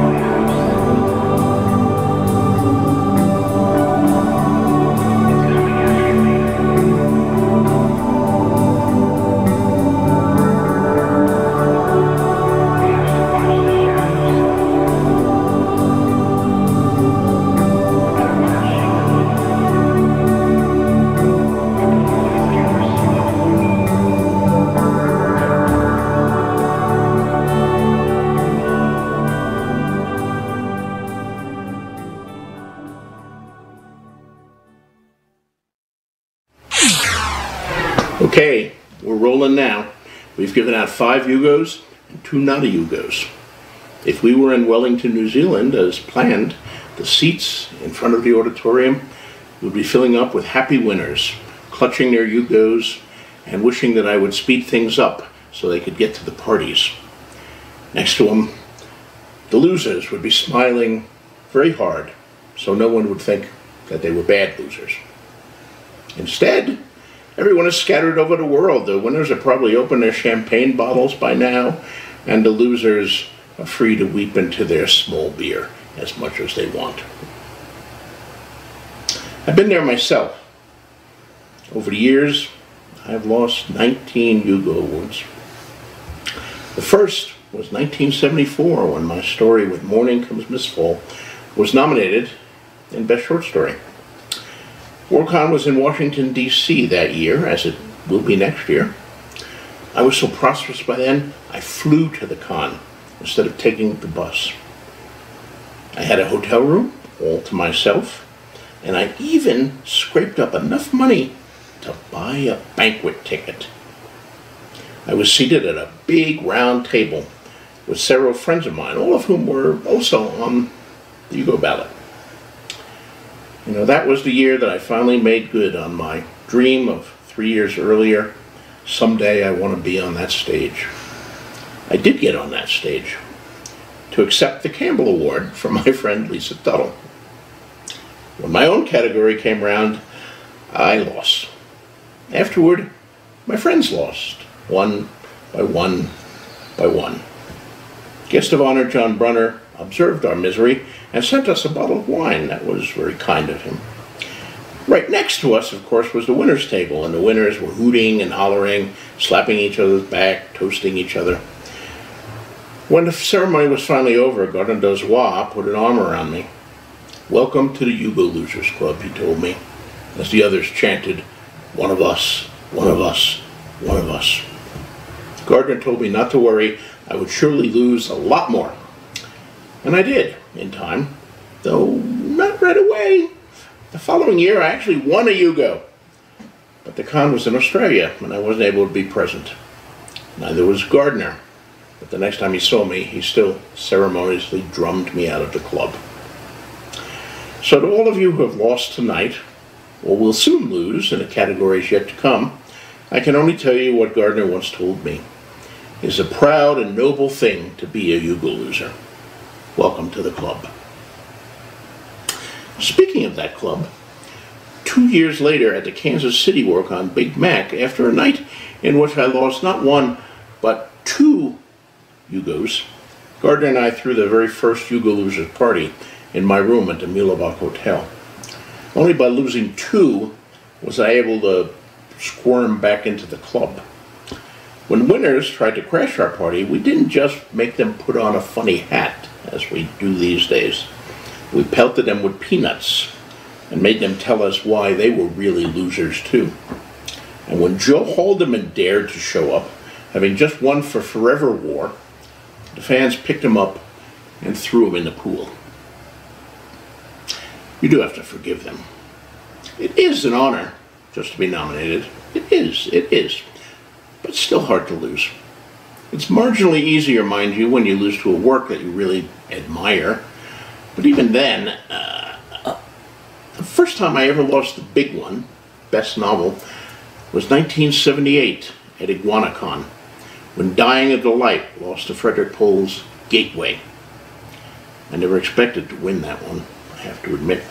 Dying of Light was my first novel, and Gateway was uh, terrific, a classic by one of the masters of our field. I remember at the losers party, I went up to Fred and told him so.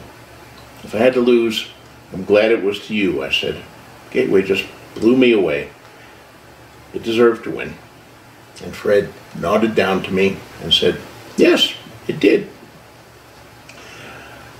But moving on, our next category is that for Best Professional Artist. Words and pictures belong together, and artists have been an important part of our field since the very beginning. The cover images of the old pulp magazines defined science fiction for half a century and influenced the filmmakers who would follow. At the very first Worldcon in New York City in 1939, the guest of honor was neither a writer nor an editor, but an artist, Frank R. Paul. At the very first Hugo Awards in 1953, there were not one, but two categories for artists. Virgil Finlay won as Best Interior Illustrator, while Hannes Bok and Ed Emshwiller each took home a rocket for Best Cover Artist in a tie. In the decades since, the Best Artist Hugo has been claimed by such giants as Frank Kelly Freas, John Schoenherr, Michael Whelan, Jack Gaughan, Leo and Diane Dillon, Bob Eggleton, Julie Dillon, Charles Vess, and many more. That's a hell of a club, and one that any artist would be proud to belong to. Let's see who the latest member will be. This year's nominees for Best Professional Artists are Tommy Arnold,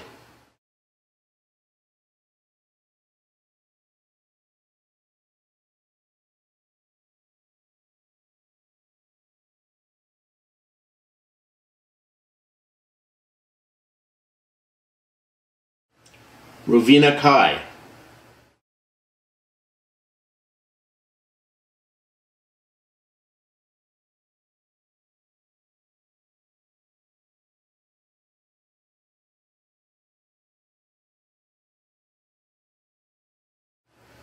Galen Dara.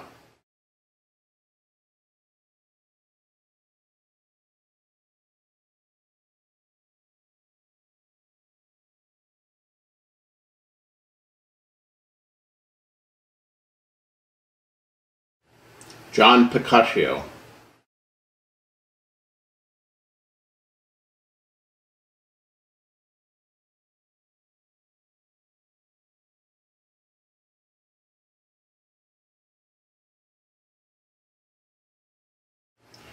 Yuko Shimizu.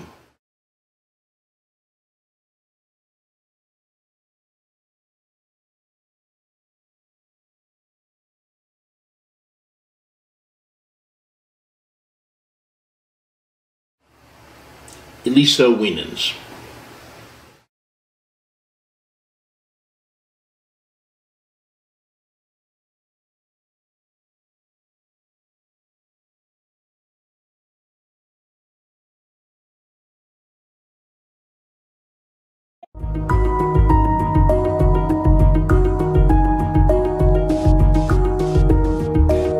And now we go live to Santa Fe to announce the winner of the Hugo Award for Best Professional Artist.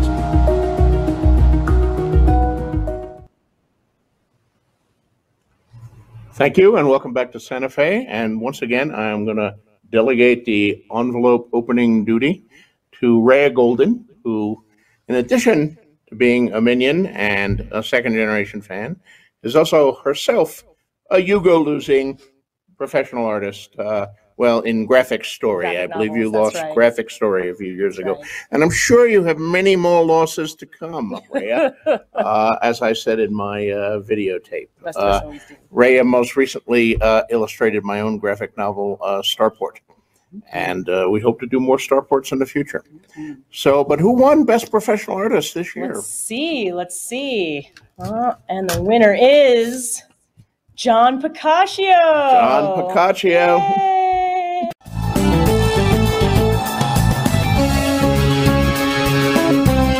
would like to send congratulations to John Picacio for winning the Hugo Award for Best Professional Artist. Kamau Lewicki. So I'm going to go, go, go. Here we are. Um, this is unexpected. The Locus was unexpected too. That solstice earlier was unexpected. I don't know why this is my year. This is a bizarre year. This is a awful year for so many of us. Um, first, I got to recognize who I'm with in this category. Um, Tommy Arnold is, is blowing doors right now. I mean, the, the stuff that he's doing um, for these um, the covers for Tor right now are, are, are just amazing. Um, Galen Dara, I- I've loved your work for the last decade. You know, you already won Best Fan Writer. You're going to win. I mean, Best Fan Writer, Best Pro Art, Best Fan Artist. Uh, I think you got that in 2012, and you're going to get Best Pro Artist uh, before you're done. You're going to have both of these things. Uh, Rovina Cai, I'm a super fan of your work. I adore it. Alyssa, I, I, I'm I'm new to your work, and I, I, I love the way you handle yourself. I love your work. You're a superstar. Um, and Yuko Shimizu, um, you're, you're, you're, you're amazing. I mean, you're, you're beyond SFF. You're, you're loved throughout the whole uh, contemporary illustration world, and I just uh, I adore your stuff. Um, thank you to Irene Gallo, Leigh Bardugo, uh, my literary agent, actually, Joanna Volpe, uh, and I did say literary agent, um, for supporting me this year. Um, shout out to all my Mexicanx family. Um, I love you guys so much, and I look forward to you guys being in this position for many, many years to come. Um, you know, we, we were here two years ago in San Jose together at a Worldcon, uh, and um, you guys are going to be in this position over and over and over, and I'll be there with you. Um, and just thank you to everybody who supported Loteria, which I know is a lot of why I'm getting this this year. Uh, that is my sort of uh, independent project that I've uh, been creating for the last several years. It's a series, a visual series that will be eventually turned into a book. And um, I'm very proud of the work, and I've got a lot more to go. Um, I'm just going to sign off here by saying that um, we've got a very tough uh, next several weeks heading into November, and we're going to have to fight to to get through this. We're going to have to stick together, and we've got a lot of battling to do. Let's go. Big job ahead. I love you guys, uh, all of you out there in the uh, Worldcon community, and um, thank you so much. Signing off. Take care. Behind every good writer.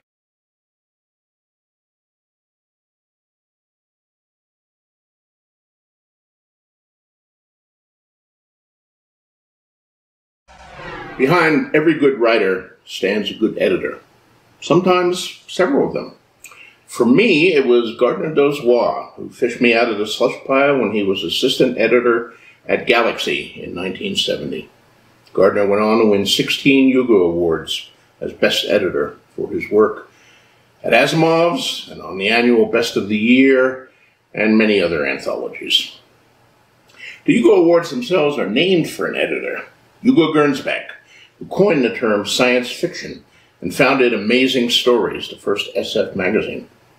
Yes, you could argue that Gernsback was first a writer, but try reading Ralph 124C41 Plus and you will be quickly disabused of that notion. In the century that followed, many other great editors came and went and left their marks upon our field. There was John W. Campbell Jr., of course, and his great rival, H.L. Gold of Galaxy, and Anthony Boucher of the Magazine of Fantasy and Science Fiction.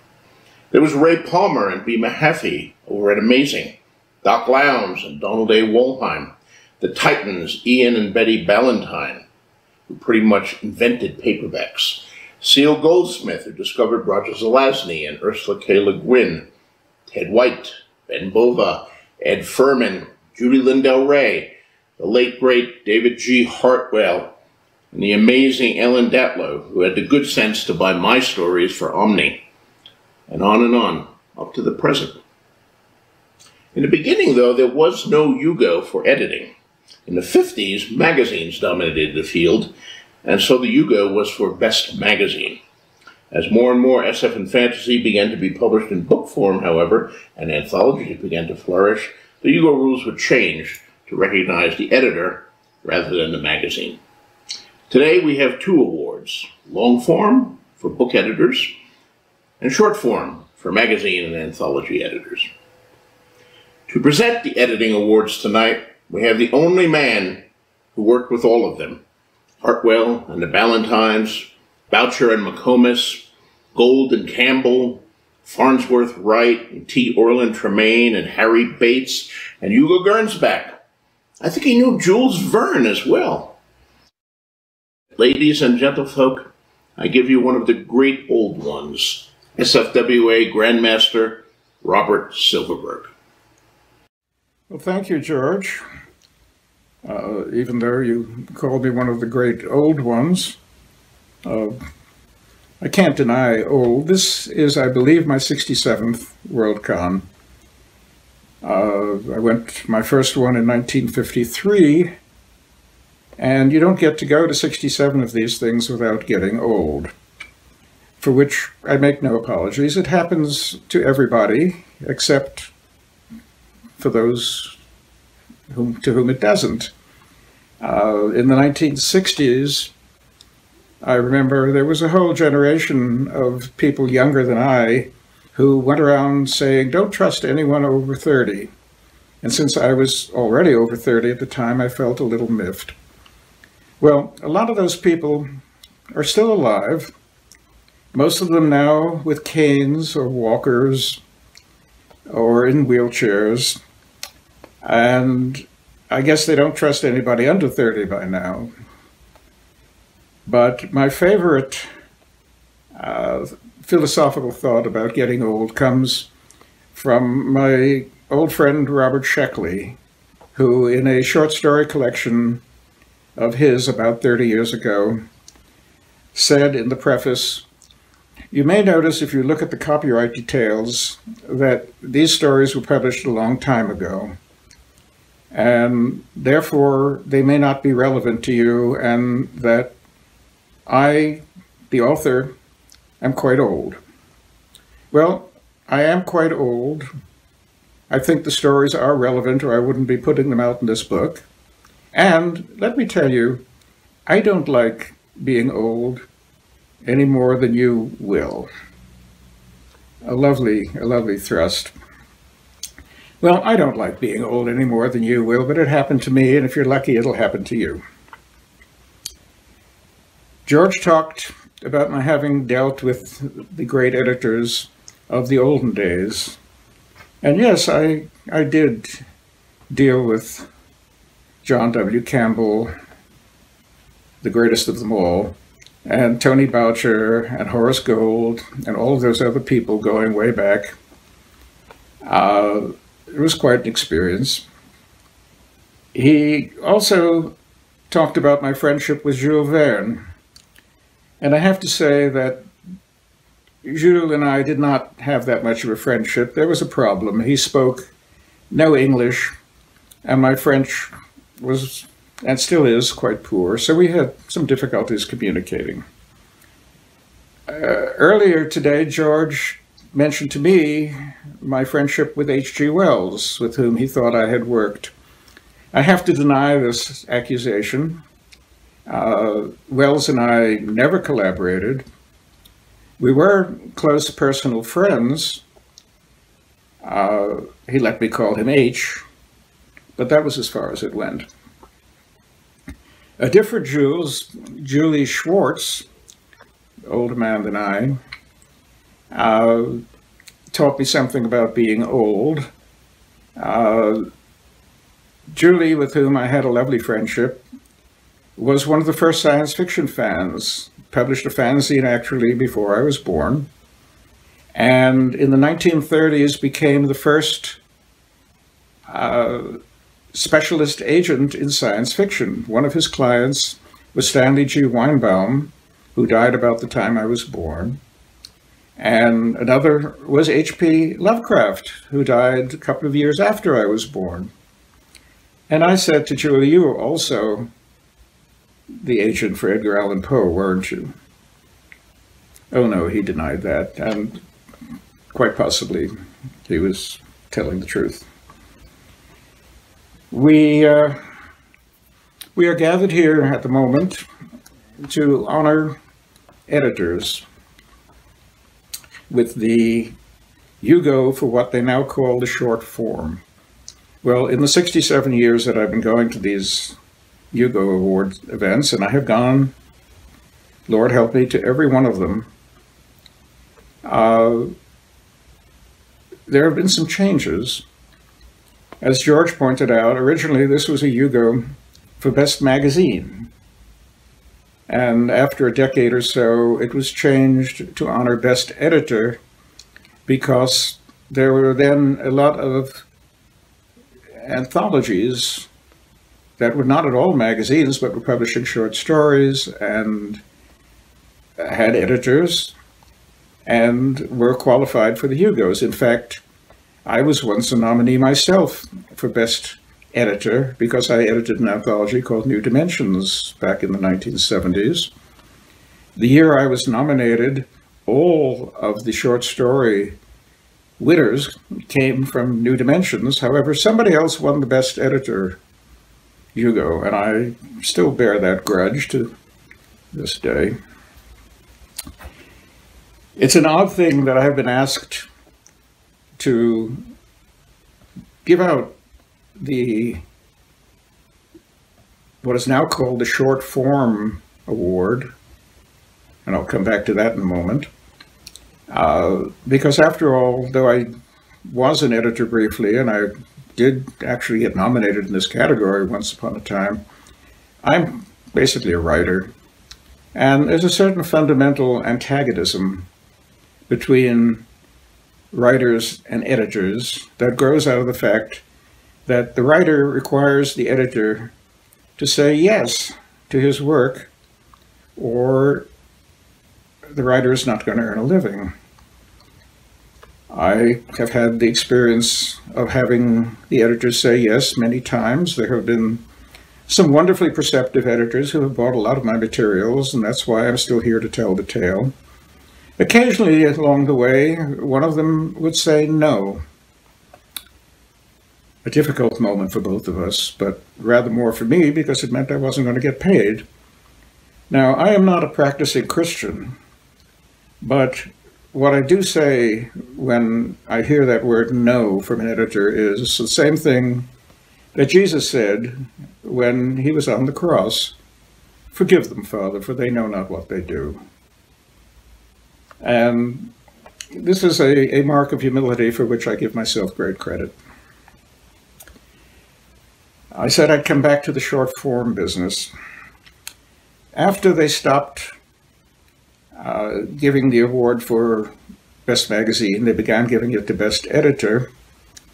And then the book editors of the field began complaining that they were being left out because nobody really knew who a book editor was. Books appeared and they had the writer's name on it, uh, but not the editors. And so all of the best editor awards were going to magazine editors or the occasional anthology editor. The book editors would be stiffed. So new award was instituted, uh, dividing the, the, the Best Editor Award into Best Editor Short Form and Best Editor Long Form, by which they meant Best Editor for short stories and Best Editor for books. Why they couldn't call it that, I don't know. To me, short form summons up the image of my late friend Harlan Ellison or that of my beloved wife Karen. And long form, to me, gives me the picture of something long and slithery like a python or perhaps a sandworm. And I don't see the sense of giving an award for best sandworm to anybody but Frank Herbert. However, uh, that's the name of the award, and that's what we're going to give out tonight. And so here we go with the winner of the Best Editor Short Form. The nominees are Neil Clarke, Ellen Datlow, C.C. Finlay, Jonathan Strahan,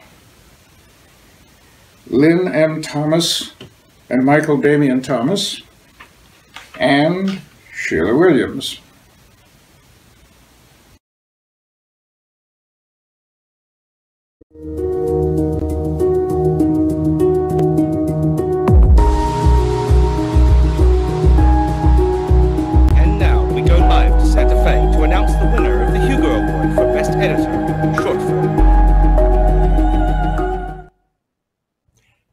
Yes, back to Santa Fe. I have the editor. I have the envelope.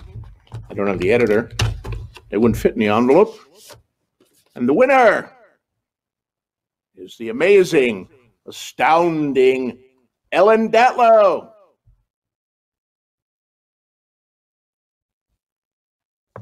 Ellen, come in New York.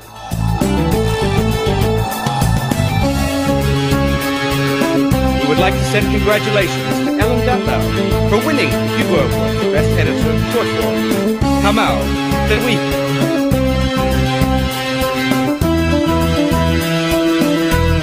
Hi. Um, by the way, George, I really love your hat. Um, thank you. Thank you for this great honor. Thank you to CoNZealand for your hard work in creating the first virtual WorldCon. I know it's been difficult, and I know it's disappointing that we aren't all there in person, and hopefully we'll be able to do another one in the future. Thank you to my fellow nominees. You are all amazing. Thank you to the voters. And finally, thank you to all the writers who make my job such a pleasure. I hope to see you all in person next year in Washington, D.C. Thank you. And now we come to the companion Hugo, Best Editor Long Form. And as I explained a little while ago, this is not an award given out to sandworms or pythons, but given out to book editors who have come to be very important in the field since the Hugos were first invented. At the beginning, there were hardly any books published. Uh, and those that were were generally serialized in the magazines. So even when somebody wrote a great novel, Asimov, Heinlein, Alfred Bester, and won a, a Hugo for it, uh, the award went to the magazine that published it. Well, that stopped when the book publishers began picking up those magazine serials and publishing them. And now there are so many books being published that it takes Locus about 11 pages each month just to list all the new books of the season, of the month, actually. Well, somehow the editors made themselves known. Uh, it's not that easy because they don't have their names on the contents page the way the magazine editors and the anthology editors do. And so tonight we will give out the best sandware, uh, the best editor award for long form. The nominees are Sheila Gilbert, Brit Hvide, Diana Pho, Devi Pillai, Miriam Weinberg, and Navah Wolfe.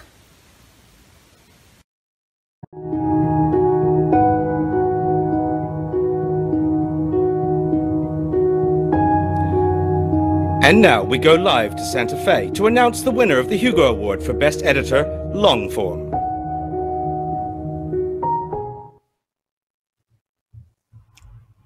Best editor long form. Well, we had our, our, our cat winner earlier.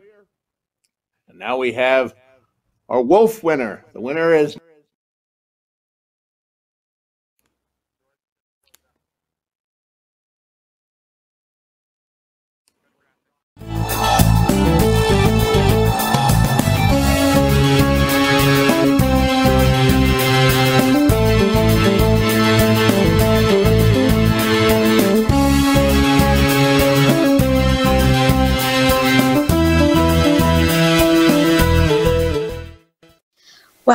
Okay. Thank you so much to all of you.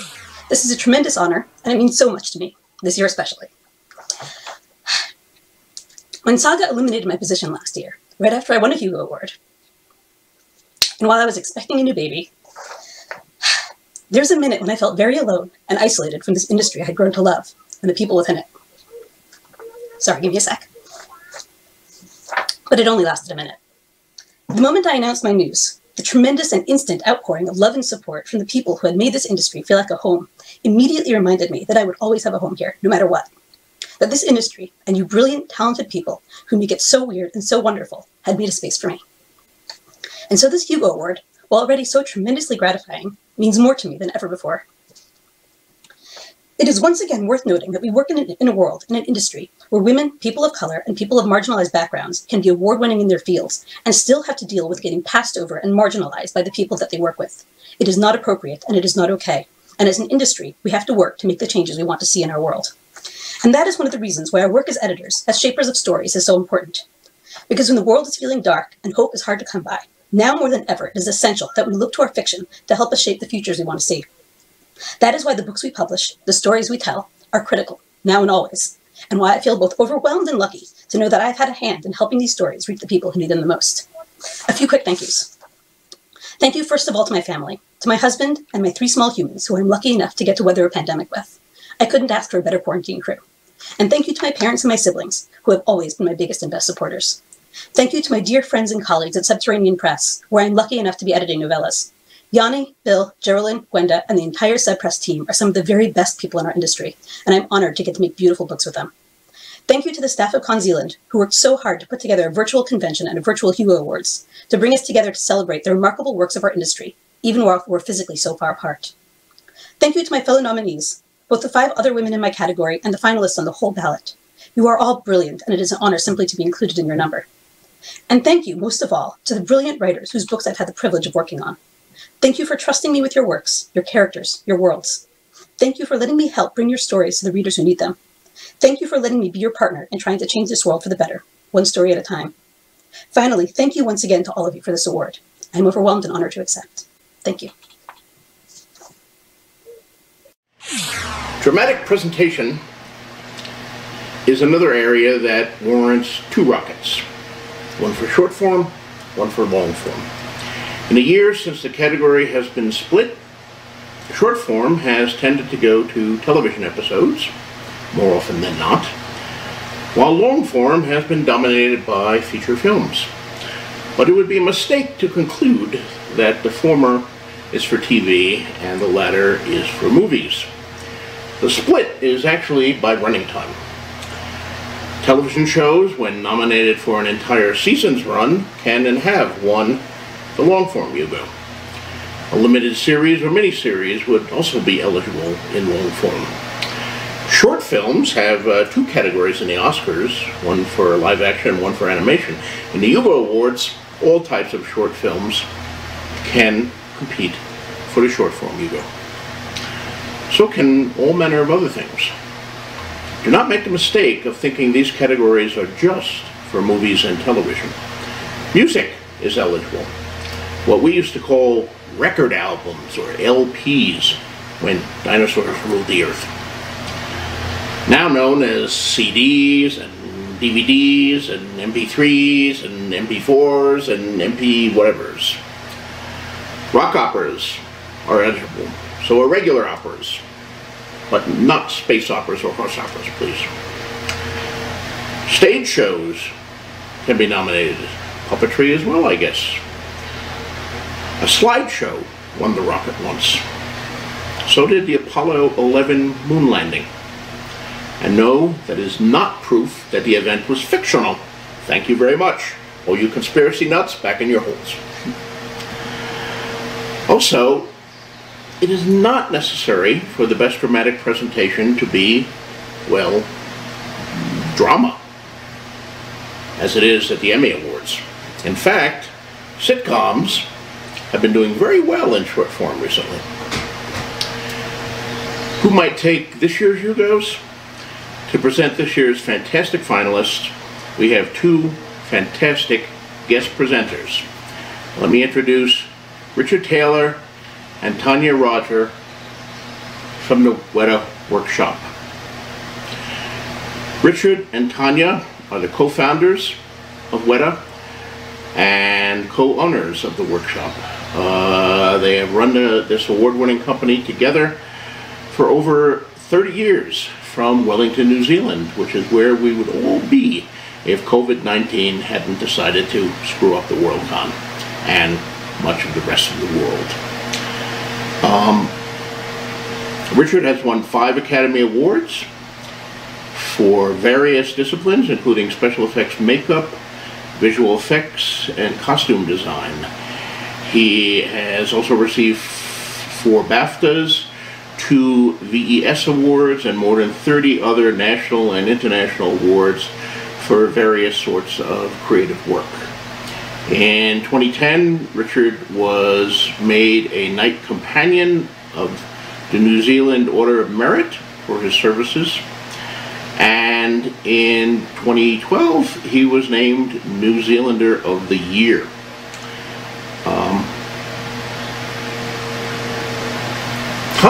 In addition to her work with Weta, also owns a gorgeous movie theater. Now, Weta is a wonderful tourist destination. If any of you ever get down to Wellington after uh, COVID runs its course, please do visit the Weta Workshop. It's it's an amazing an amazing thing to see. And while you're there, go down the street and visit Tania's movie theater, um, which I visited the last time I was there. And you know, I own a movie theater in Santa Fe, New Mexico, and seeing Tania's theater gave me a bad, bad case of movie theater envy because hers is really, really big and nice and wonderful. Um, at any rate, um, it's my honor and privilege to uh, present them here. Uh, I wish we could all be together, but uh, please give your most rousing virtual welcome to Richard Taylor and Tania Rodger of the Weta Workshop. Finalists for Best Dramatic Presentation Short Form are The Good Place, The Answer, written by Daniel Schofield, directed by Valeria Migliassi Collins, Fremulon, Three Arts Entertainment, Universal Television. Find us the answer? Oh, well, Eleanor, this kind of thing doesn't have just one answer. There might be 800. There could be zero. Who knows? You know, the journey is the destination, right? Let's get to work. The Expanse, Cibola Burn, written by Daniel Abraham, Ty Franck, and Naren Shankar, directed by Breck Eisner. Amazon Prime Video.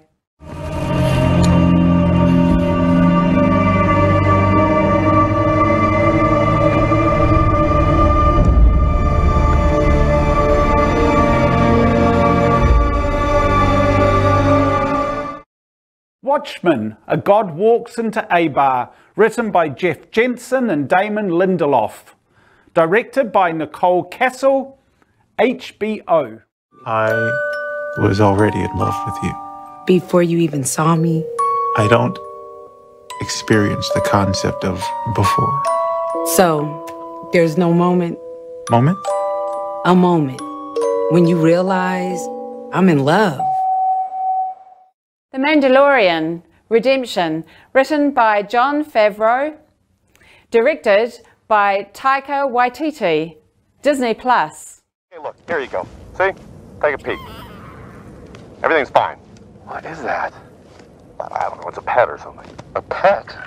But you, ah! Serves you right. Stop that. Watchmen, This Extraordinary Being, written by Damon Lindelof and Cord Jefferson, directed by Stephen Williams, HBO. I'm not angry.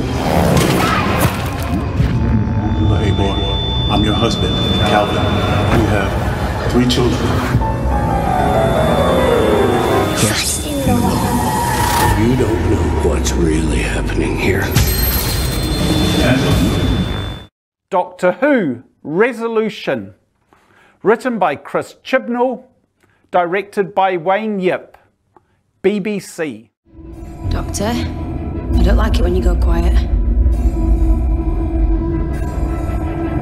This is the DNA of the most dangerous creature in the universe. Does it have a name?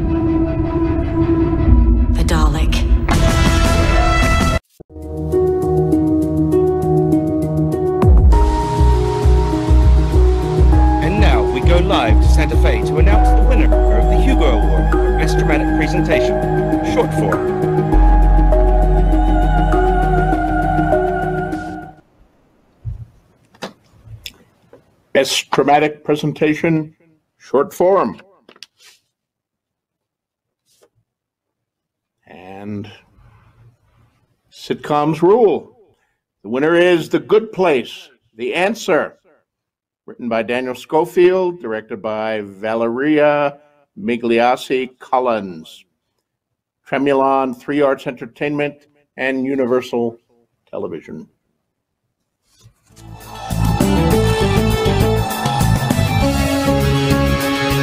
We would like to send congratulations to producers Josh Siegal and Dylan Morgan and the team for winning the Hugo Award for Best Dramatic Presentation Long Form. Kamau Tewihi. Hi, Hugos. Thank you for honoring The Good Place one last time. We humbly accept this award on behalf of the writer of the episode, Daniel Schofield, director, Valeria Migliassi Collins, the creator of The Good Place, Mike Schur, Morgan Sackett, Drew Goddard, David Miner, our entire production team, plus our fantastically talented cast, including Ted, Kristen, Jameela, Manny, Darcy, and the incredible William Jackson Harper, who somehow magically made us all believe that someone as nerdy as Chidi could be as hot as Will. This is a true honor, and we thank you. The finalists for Best Dramatic Presentation Long Form are Avengers Endgame, screenplay by Christopher Marcus and Stephen McFeely, directed by Anthony Russo and Joe Russo, Marvel Studios. Whatever it takes. Whatever it takes.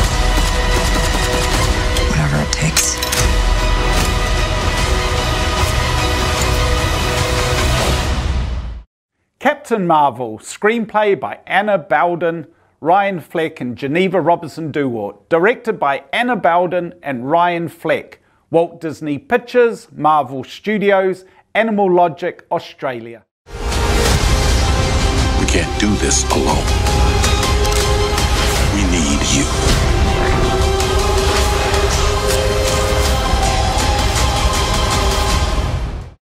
Good Omens, written by Neil Gaiman, directed by Douglas Mackinnon, Amazon Studios, BBC Studios, Narrativia, The Blank Corporation. We are an angel and a demon. We're on opposite sides. We're on our side. It's up to me. Yes. Russian Doll Season 1, created by Natasha Lyonne, Leslie Headland, and Amy Poehler. Directed by Leslie Headland, Jamie Babbitt, and Natasha Lyonne. Business, is my choice, baby.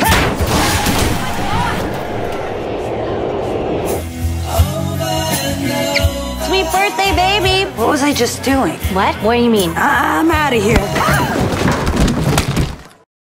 Star Wars The Rise of Skywalker, screenplay by Chris Terrio and J.J. Abrams, directed by J.J. Abrams, Walt Disney Pictures, Lucasfilms, Bad Robot.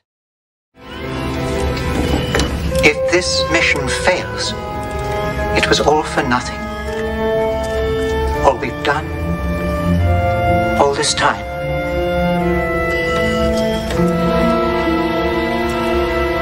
What are you doing there, 3PO? Taking one last look, sir, at my friends. Us, written and directed by Jordan Peele, Monkey Paw Productions, Universal Pictures. It's probably the neighbors. But y'all scared of a family? Hi, can I help you? Zora, put your shoes on. If you want to get crazy, we can get crazy.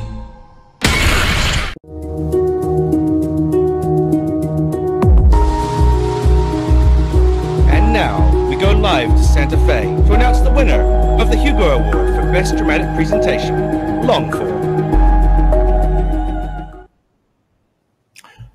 To help me with the envelope opening duties this time, we have another of my mighty minions, Elias Gallegos, a crew member from the Starship Night Flyer, which has unfortunately encountered some trouble in deep space. Elias, can you tell us who uh, won a dramatic presentation in long form before you go off and die horribly? I can.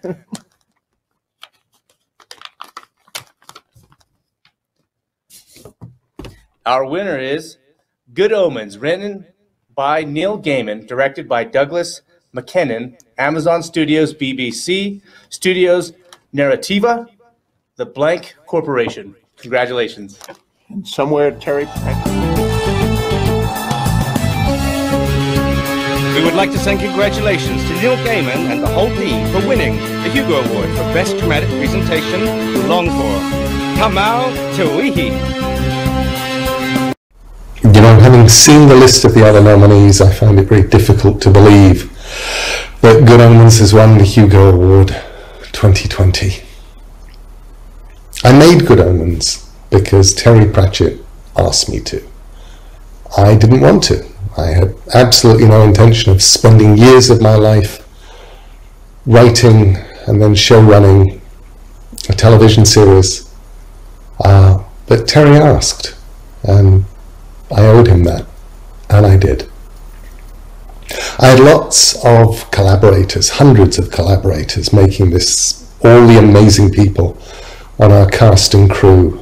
I particularly want to thank the indomitable Douglas Mackinnon, our director, and Michael Sheen and David Tennant, our angel and our demon. But the most important collaborator for me wasn't there.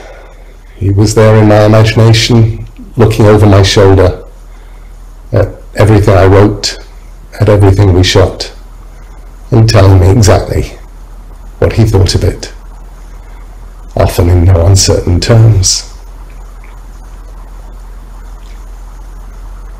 Terry never won a Hugo. Um, the only time he was nominated for a Hugo Award, he actually withdrew the novel from consideration, uh, telling people that if he had a book nominated for a Hugo, it would ruin his Worldcon. Worrying. It wasn't that he didn't care, it was that he cared too much.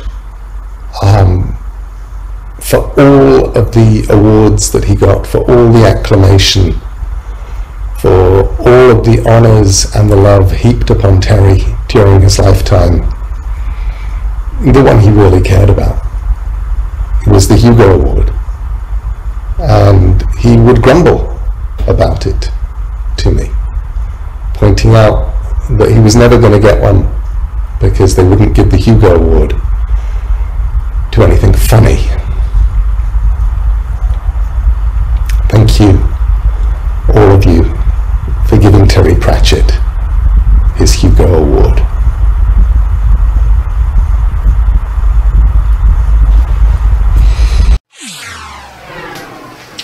And now we come Best Graphic Story. What is a graphic story, you ask? Good question.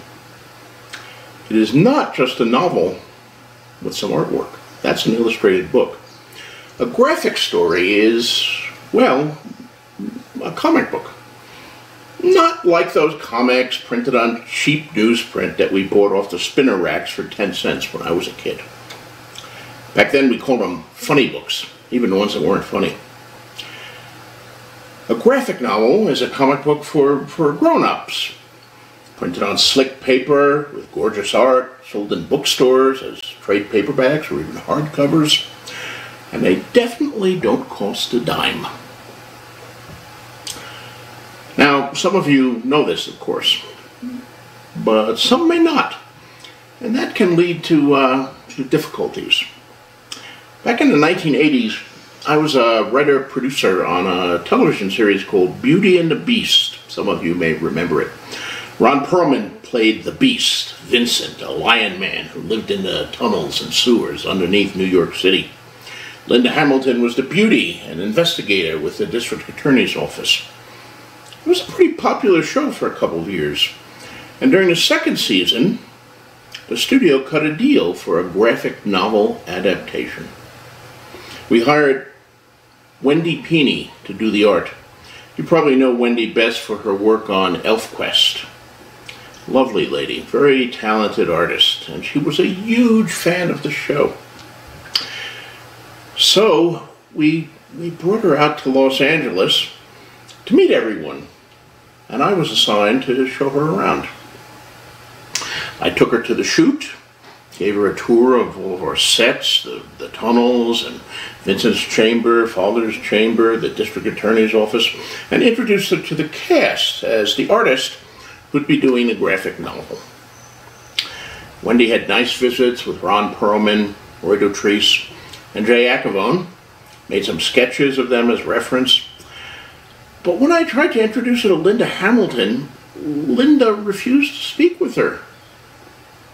She got icy cold. Uh, very unlike Linda. She stormed away without a word, shut herself up in her trailer, and called her manager. I had I had no idea what was wrong. Why was Linda so mad? Wendy was a huge fan of hers, such a nice person. Wasn't until Linda's manager appeared that we finally understood. Linda is not doing it, the manager told us. We've gone over her contract. You do not have the right to do this. This is an outrage, and we are not going to stand for it. If you go ahead, we will sue you.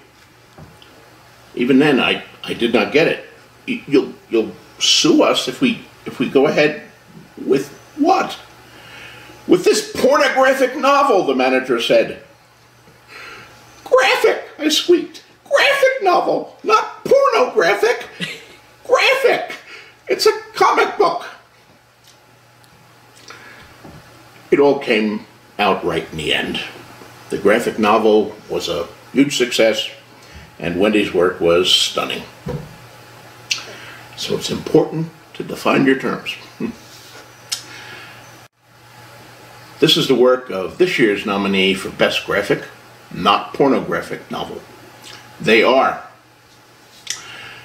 Die, Volume 1, Fantasy Heartbreaker by Kieron Gillen and Stephanie Hans. Letters by Clayton Cowles from Image. LaGuardia, written by Nnedi Okorafor.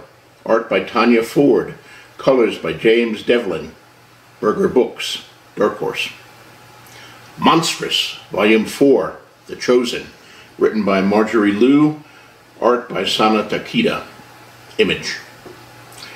Mooncakes, by Wendy Xu and Suzanne Walker, letters by Joamette Gil, Oni Press, Lion Forge. Paper Girls, Volume 6, written by Brian K. Vaughan, drawn by Cliff Chiang, colors by Matt Wilson, letters by Jared K. Fletcher from Image. The Wicked and the Divine, Volume 9, OK, by Kieron Gillen and Jamie McKelvie, colors by Matt Wilson, letters by Clayton Cowles from Image.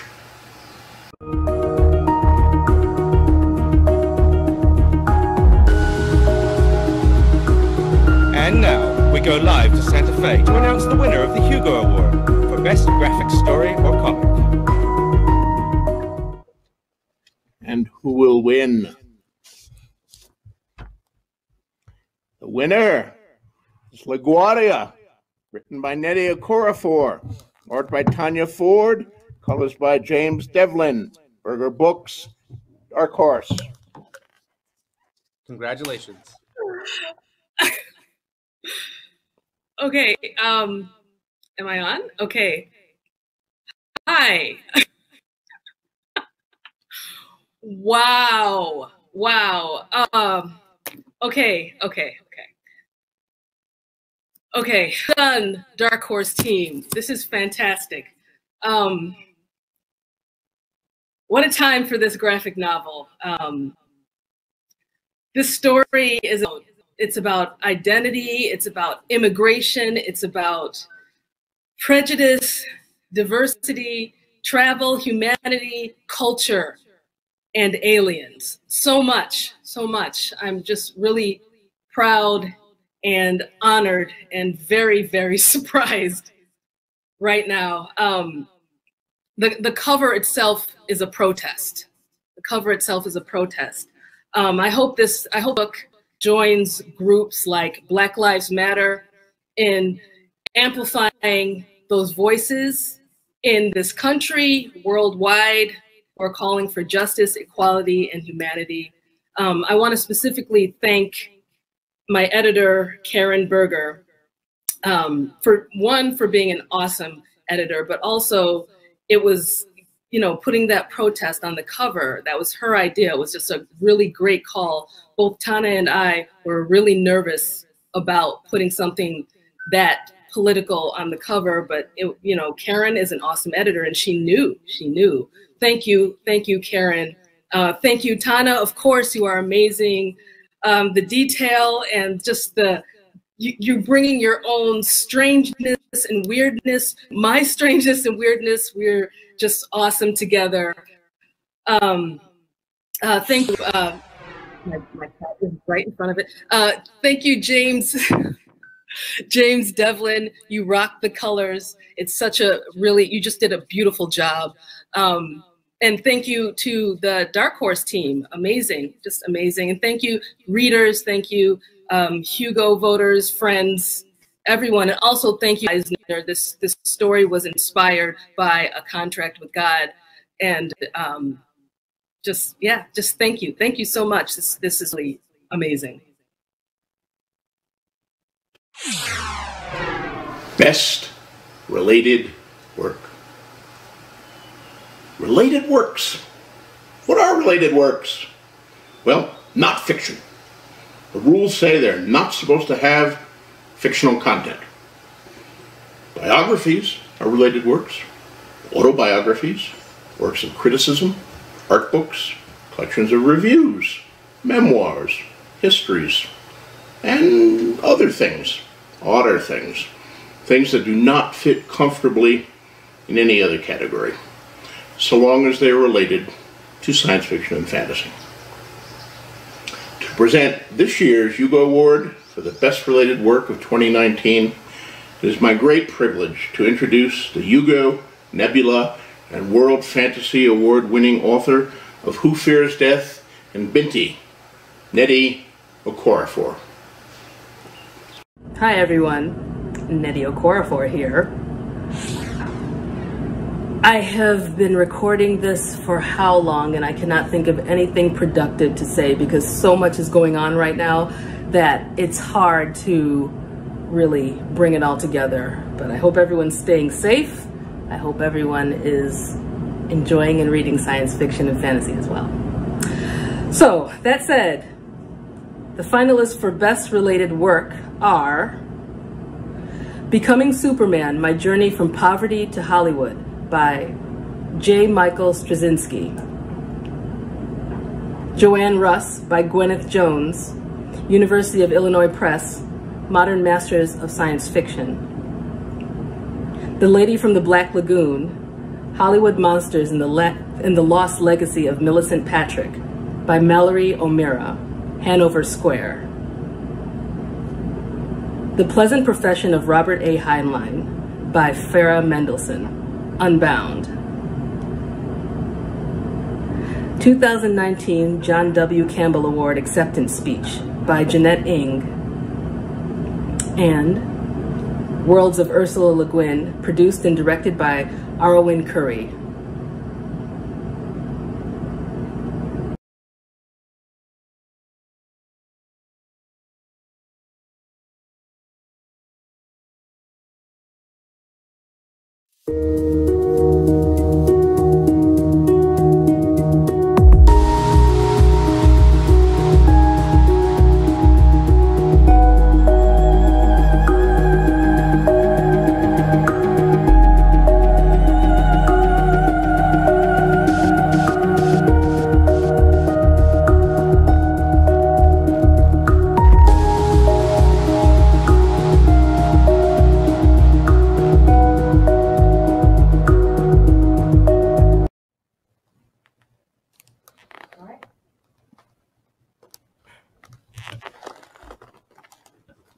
This year's winner is.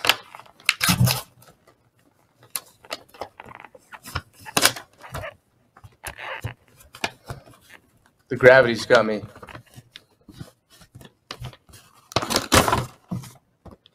Jeanette Ng, 2019 John W. Campbell Award.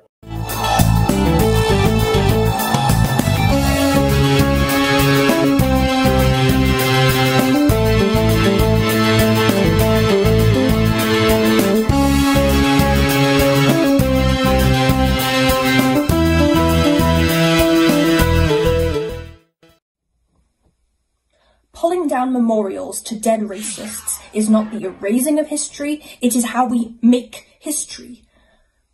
And I am proud to celebrate that with you here. and I am humbled to have contributed in this small way to these conversations, these revolutions within and without our genre. Not that I ever thought I was being controversial. Moorcock has been calling Campbell a fascist for years, but I like Moorcock's context. My voice is shriller, and my, well, I'm not white. And that makes me sound angrier. I become graceless and vulgar. But I really didn't think I was saying anything new, anything you didn't already know. I wasn't speaking to make change. I thought everyone already knew, and this was okay. They were okay with it. It was what normal looked like to me. So thank you, everyone who made it happen, who actually made it happen. Thank you to Alec Nevala-Lee, who wrote the book and brought the receipts. I am grateful you all proved me wrong in this at least. Because it doesn't end here, it would be irresponsible for me to stand here and congratulate us as a community without reminding us that the fight isn't over and it extends well beyond the pages of our books.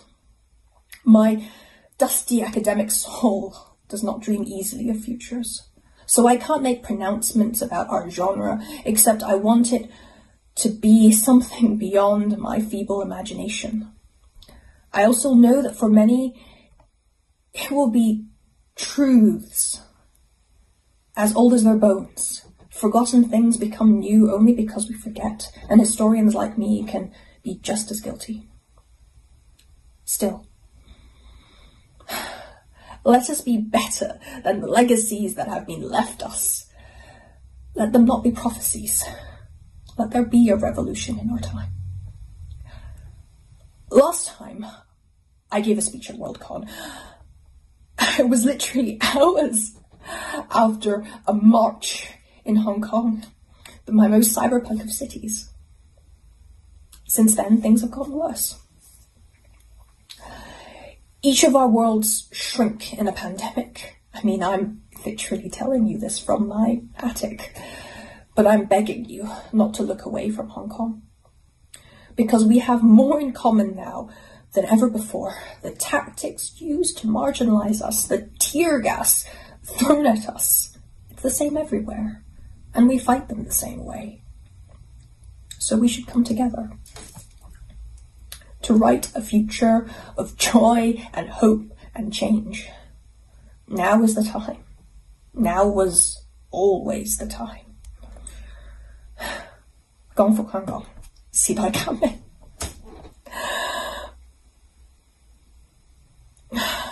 One more thing, um, I have this hat. It was given to me last year, and um, it, it, it does a thing. Um, it does this.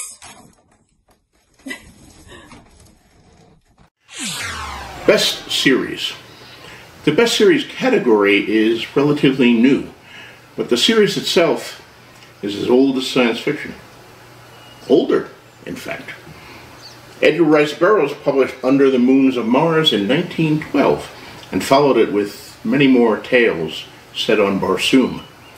Hugo Gernsback did not start Amazing Stories until 1926, and it was several years later when he coined the term science fiction. L. Frank Baum preceded even ERB by a dozen years, publishing his first Oz book in 1900. Later on, Doc Smith gave us the Skylark series and Lensman books. He also gave us powdered sugar donuts, but that's another story. It was Heinlein who coined the term future history, though his own was a very loose framework indeed. Asimov gave us the Foundation series and the robot stories. C.L. Moore wrote tales of Northwest Smith and Leigh Brackett of Eric John Stark. Ray Bradbury of Mars. Jack Vance explored Lyonesse, the dying Earth, and the Gaean Reach, and introduced us to five dastardly demon princes. And of course, there was Tolkien. Today, series books, trilogies, quartets, quintets, sextets, and future histories are everywhere. And it's hard to find a novel or a short story that stands all alone by itself, shivering in the cold literary winds. Which only makes sense, I suppose. World building is a huge part of writing science fiction and fantasy. And once you have built an entire world, there's so much to see and do and explore. To present this year's Best Series Hugo, I have the privilege to present one such intrepid explorer.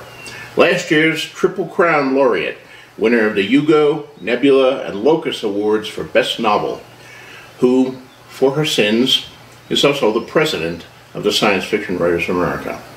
Let's give a rousing virtual welcome to Mary Robinette Kowal. Thank you, George.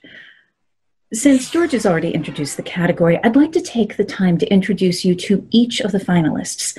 These are works that span a gamut, but all contain one thing in common excellence in narrative over the span of not just a single novel, but a long arc of stories. These stories linger. Trying to sum them up doesn't do justice to any series, so I'm going to focus in on single quotes to give you a taste of the worlds that these books create and the lingering resonances within them. The Expanse by James S. A. Corey, Orbit US, Orbit UK. There were two sides fighting, that was true enough. But they weren't the inner planets versus the Belters.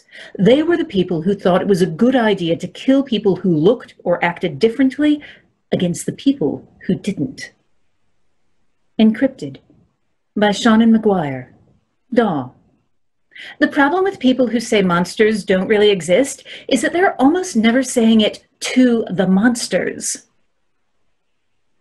Luna by Ian McDonald. Tor Gollancz.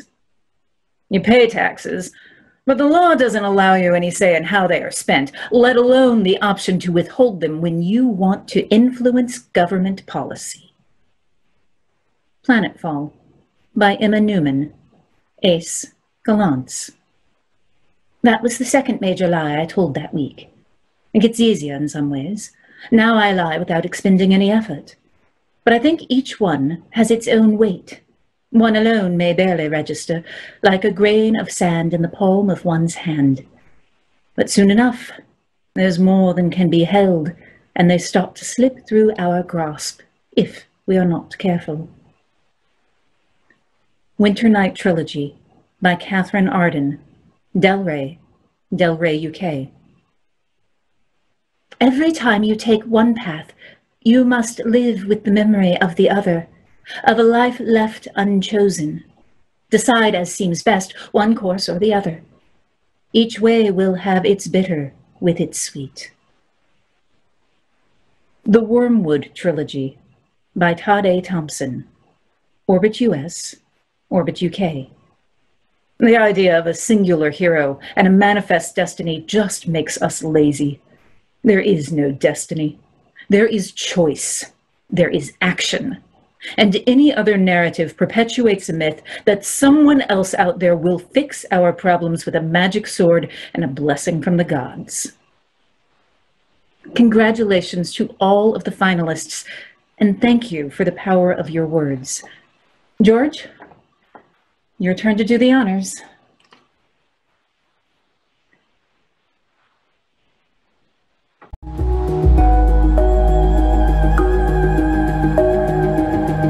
And now we go live to Santa Fe to announce the winner of the Hugo Award for Best Series.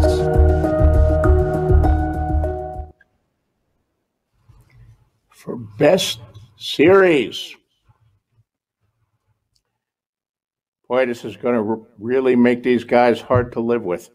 It's The Expanse by James S.A. Corey. Ty, Daniel. You got it?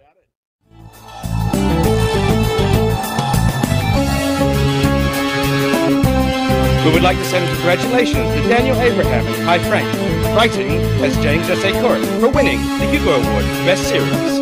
Kamau Tawihi.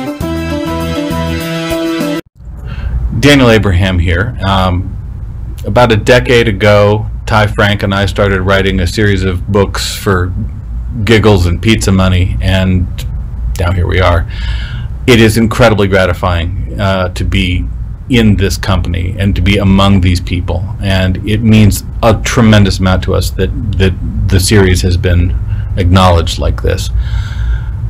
We owe tremendous debts of gratitude to a great number of people, and we will be expressing that privately uh, later on. Right now, we want to thank the writers who've come before us and who've been around us and who have created this genre that we are part of the conversation with. Uh, and the next generations that are coming up now and broadening that vision and broadening that conversation and broadening that perspective in ways that make it richer. Science fiction, fantasy, speculative fiction are more and more important in a world as the technology moves forward and as the questions of humanity and the ties that we have to each other become more and more at issue. Not just in our fiction, but in our world and our news. Uh, it is an incredible honor to be part of the conversation and an incredible honor to be here tonight and to be with you. And thank you all very, very much. And that brings us, at the last, to the final four short story, novelette, novella, and novel. Why are there three categories for various lengths of short fiction and only one for novel, you may ask? Simple. When the Hugos first began, very few science fiction or fantasy books were being published. The magazines dominated the field, and aside from a few serials, the magazines published mostly short fiction. Today, of course, novels and trilogies and series rule the spaceways. But when I teach workshops, which I still do from time to time, I still tell my students to start with short fiction, as I once did myself. I began with short stories, progressed to novelettes, then novellas. Six years in, I wrote my first novel. Eventually, I started a trilogy. Thirty years later, I'm still writing that trilogy, which has grown to seven volumes. Maybe I should have stuck to short fiction. Short story is one of the older categories, going all the way back to the second Hugos in 1955, when it was won by Eric Frank Russell's Allamagoosa. I'm quite fond of this category myself, as it happens, since once upon a time, I won it. That was in 1980 at Noreascon 2, when I also won for novelette. Yeah, nine years from my first Worldcon, when I watched from the balcony and said, someday I want to be up on that stage, I got up on that stage twice in a single night. And in Boston, where I made that wish. And Robert Silverberg was once again the Toastmaster and presented me with both rockets. I'd barely gotten back to my seat with my first Hugo in hand when he announced that I'd won the second, and I had to go scrambling back onto the stage. I have absolutely no memory of what Silverberg might have said, or what I said, for that matter. But the night could not have gone better if I had written the script myself. Afterward, I hit all the parties with two Hugos in hand. When I got to the Hugo Losers Party, Gardner Dozois was waiting with a can of whipped cream in hand. He sprayed it all over my head and even had a maraschino cherry to top off the sundae. One of the best nights of my life, needless to say. Let's see which of this year's nominees is about to have a night that they will remember forever. The finalists for Best Short Story are And Now His Lordship is Laughing by Shiv Ramdas, Strange Horizons. As the Last I May Know by S. L. Huang, Tor.com. Blood is another word for hunger by Rivers Solomon, Tor.com. A Catalog of Storms by Fran Wilde, Uncanny Magazine. Do Not Look Back, My Lion by Alix E. Harrow, Beneath Ceaseless Skies. Ten excerpts from an annotated bibliography on the cannibal women of Ratnabar Island by Nibedita Sen, Nightmare Magazine.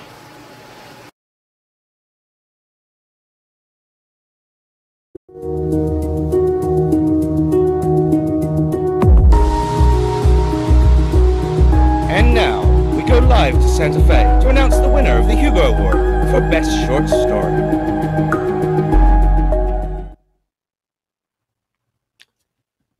And the winner, Best Short Story, As the Last I May Know, by S.L. Huang.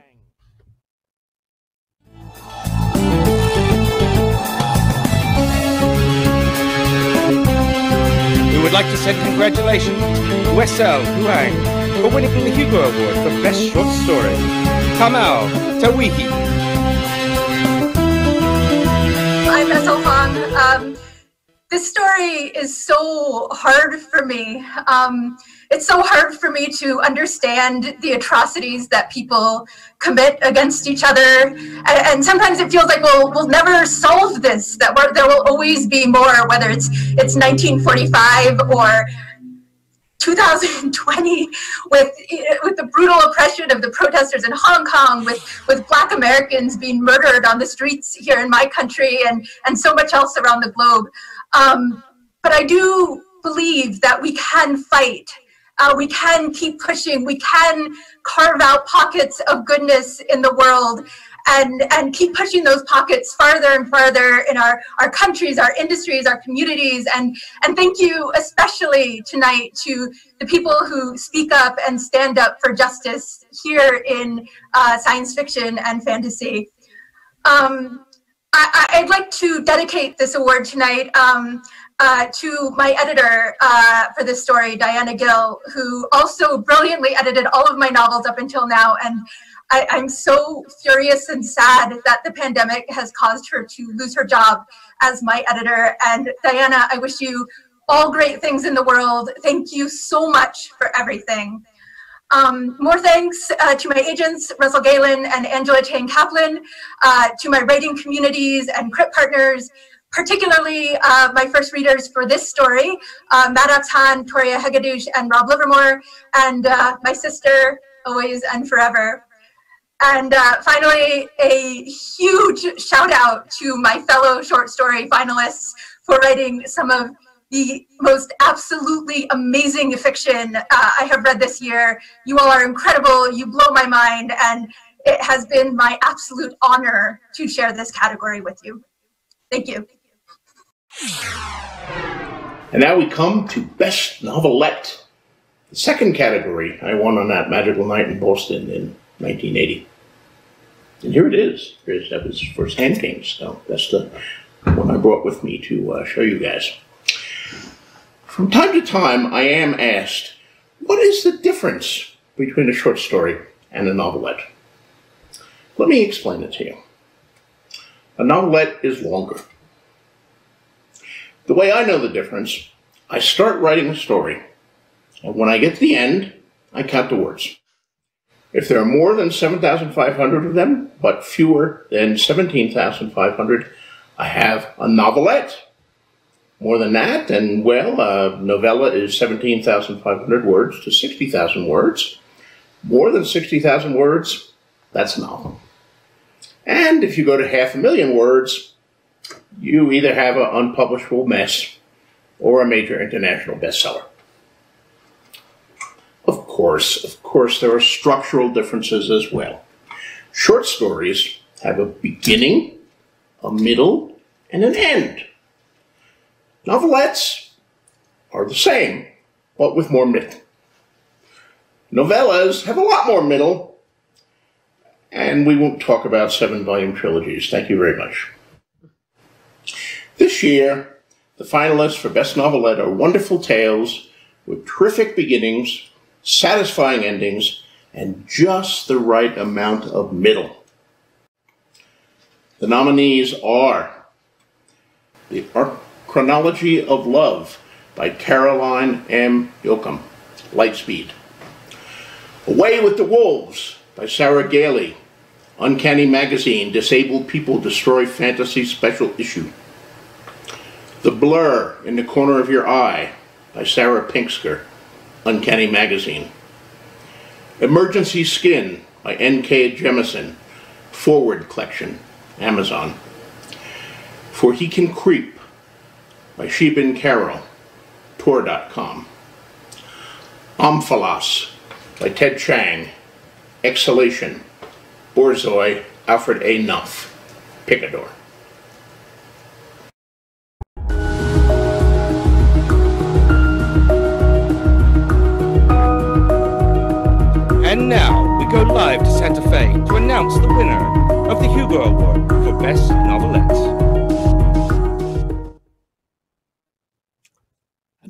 For Best Novelette this year is Emergency Skin by N.K. Jemisin. Forward click. We would like to send congratulations to N.K. Jemisin for winning the Hugo Award for Best Novelette. Ka mau te wehi.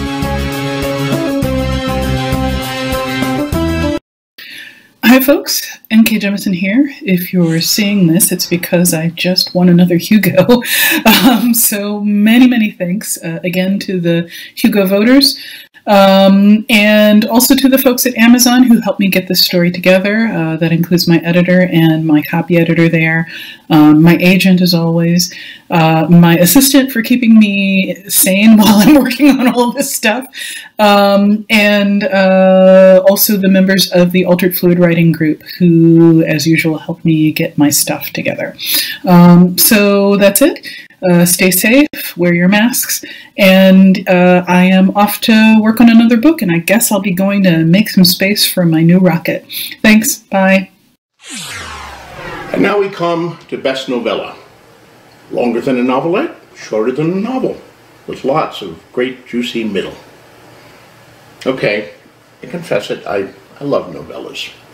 I love reading them, I love writing them, and novella has got to be my favorite all-time Hugo category.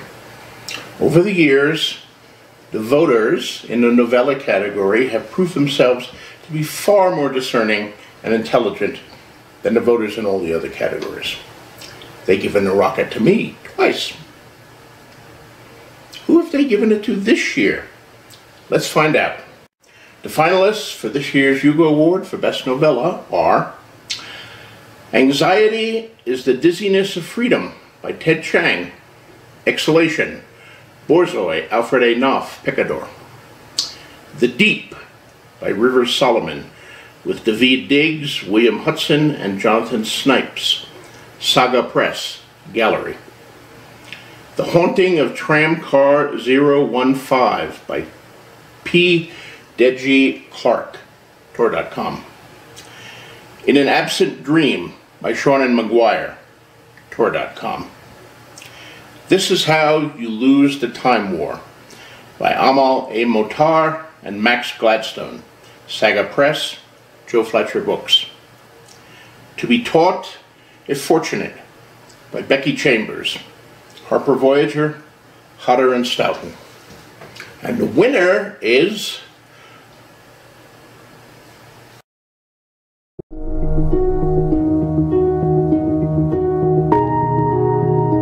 And now we go live to Santa Fe to announce the winner of the Hugo Award for Best Novella.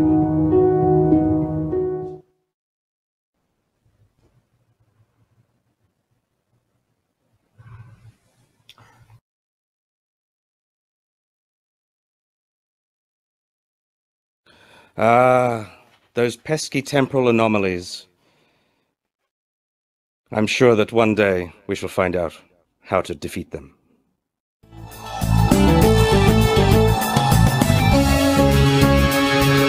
Would like to send congratulations to Amal El-Mohtar and Max Gladstone for winning the Hugo Award for Best Novella. Kamau Tawihi.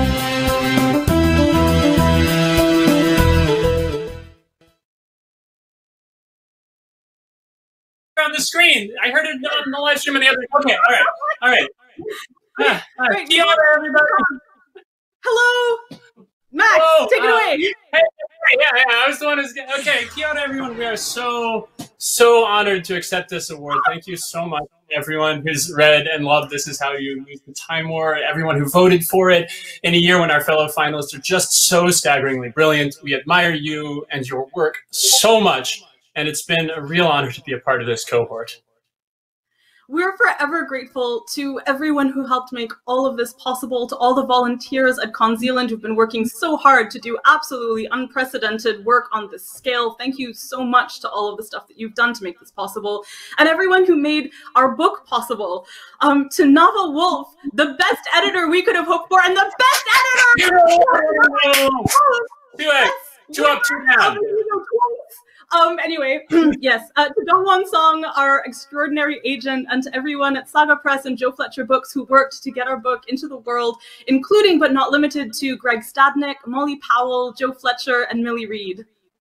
I'd, I'd like to thank my wife Stephanie always and forever. My parents and my sister also for their constant support ever since I was, you know, phonetically spelling stories in scrap uh, notebooks. Um, Bob and Sally Neely, who've given copies of my books to literally everyone they know, I think. Uh, to Uncle Danny, who gave me Zelazny and Leiber, and Uncle Paul, who gave me the Star Trek video VHS tapes back, on those were of thing. It's just love you all.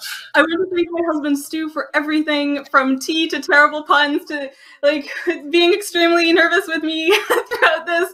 Um, and I want my parents and siblings for a lifetime of cheering on my writing, for their steadiness and their constancy in the face of so many upheavals. I can never thank them enough.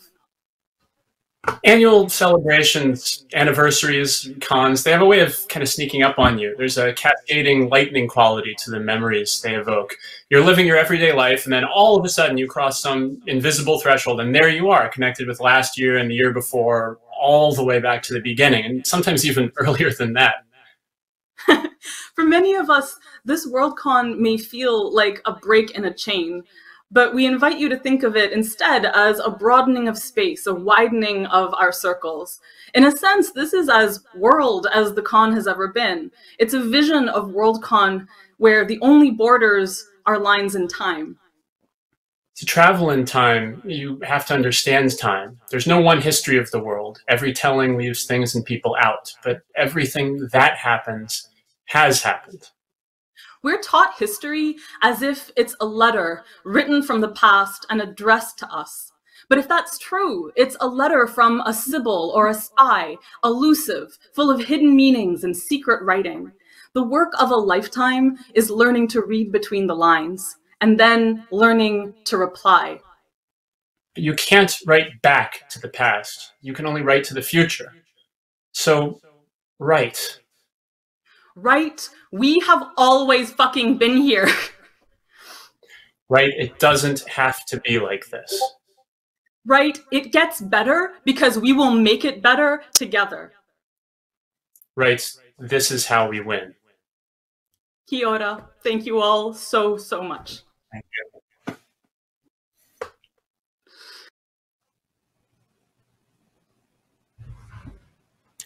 Hello again, guys. I'm sorry we had a glitch there.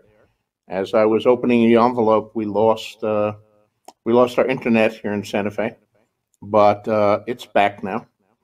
So we have one more category, and I have another videotape uh, before it, and then a short farewell after it. Uh, and in between, I'll be reading who the winner is for best novel. But before I get to that, I wanted to say um, if we were in person, once this last category was announced, people would be rushing to the stage to have their picture taken. The losers would be heading out, perhaps to the losers' party, perhaps to the bar, being consoled by their friends. Um, again, as as uh, one of the founders of the Hugo Losers Party, I, I have a lot of sympathy for the losers.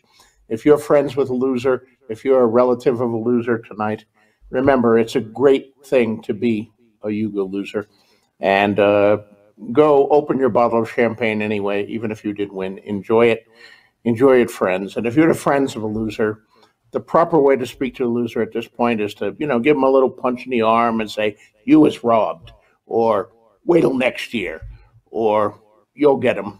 Um, those things have consoled me and many a time. And you may be celebrating the winners tonight. you may have preferred other nominees or even things that didn't make the ballot. What I want to remind you all of, everybody watching this, um, is this is your award. This is fandom's award. If you didn't like the way it came out this year, vote for next year. You can sign up right now to be a member of the DC convention, and it's not going to get any cheaper. So tomorrow would be the best day to sign up for the DC Worldcon next year. You can sign up right now for Chicago, which just won the right to uh, host the uh, convention in 2022.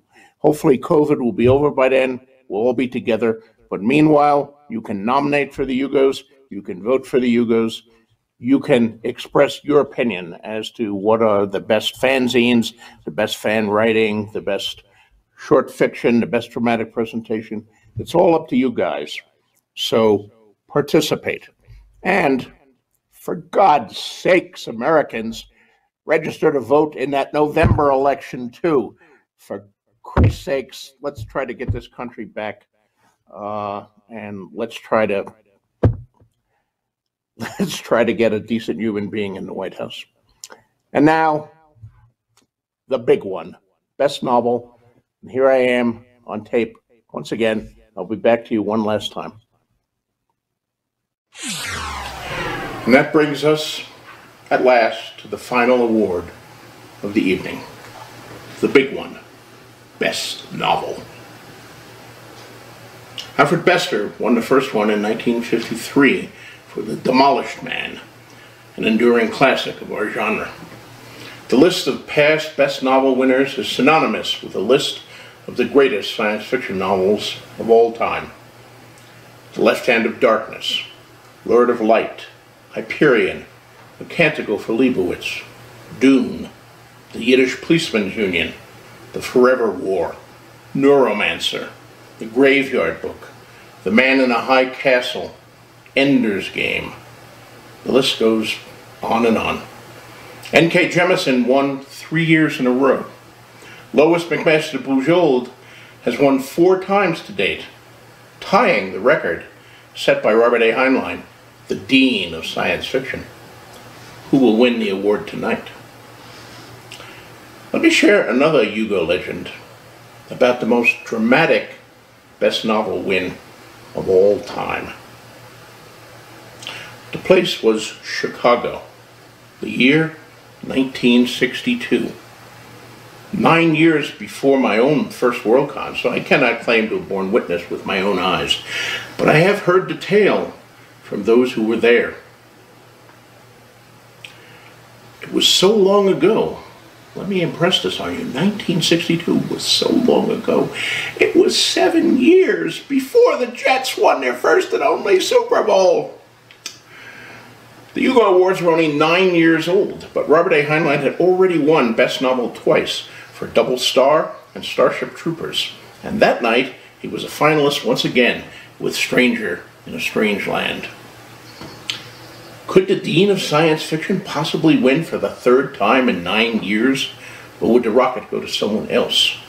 Everyone wanted to know, except perhaps Heinlein himself, who was not attending the convention.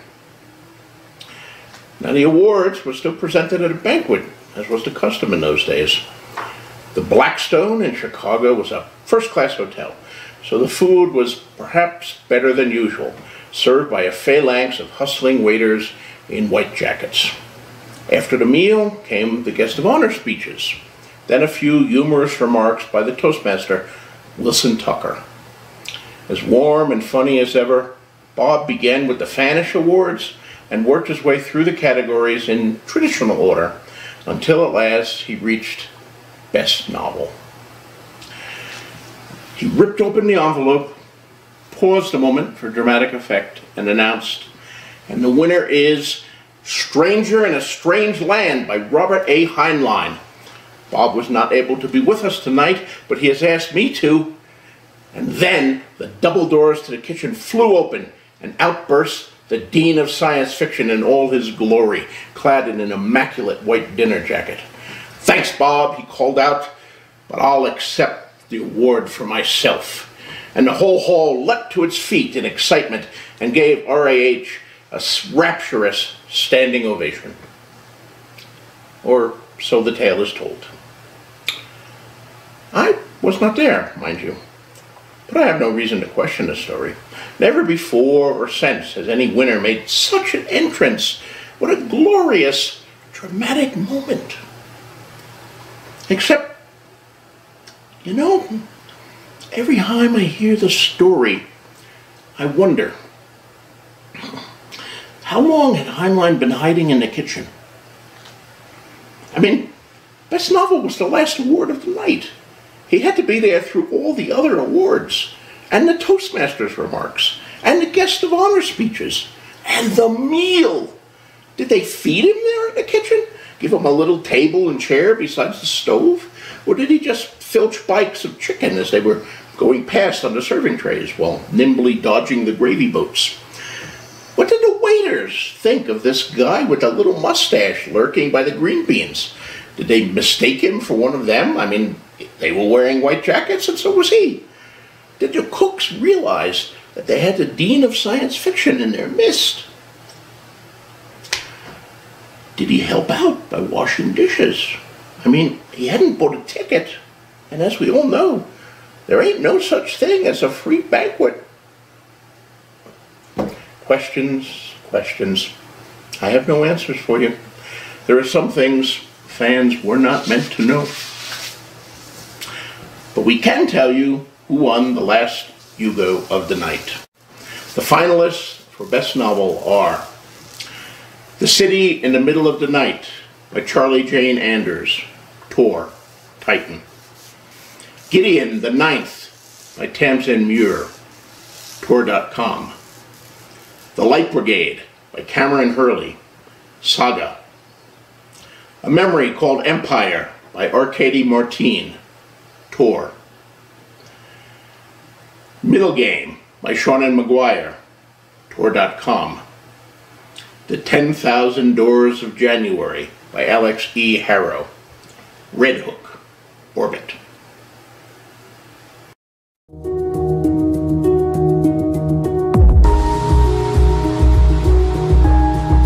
And now we go live to Santa Fe to announce the winner of the Hugo Award for Best Novel.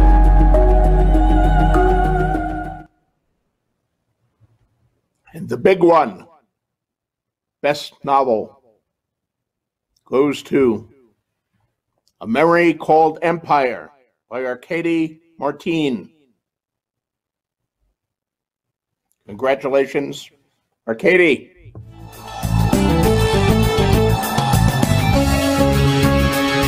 Would like to send congratulations to Arkady Martine for winning the Hugo Award for Best Novel. Kamal Terwihi.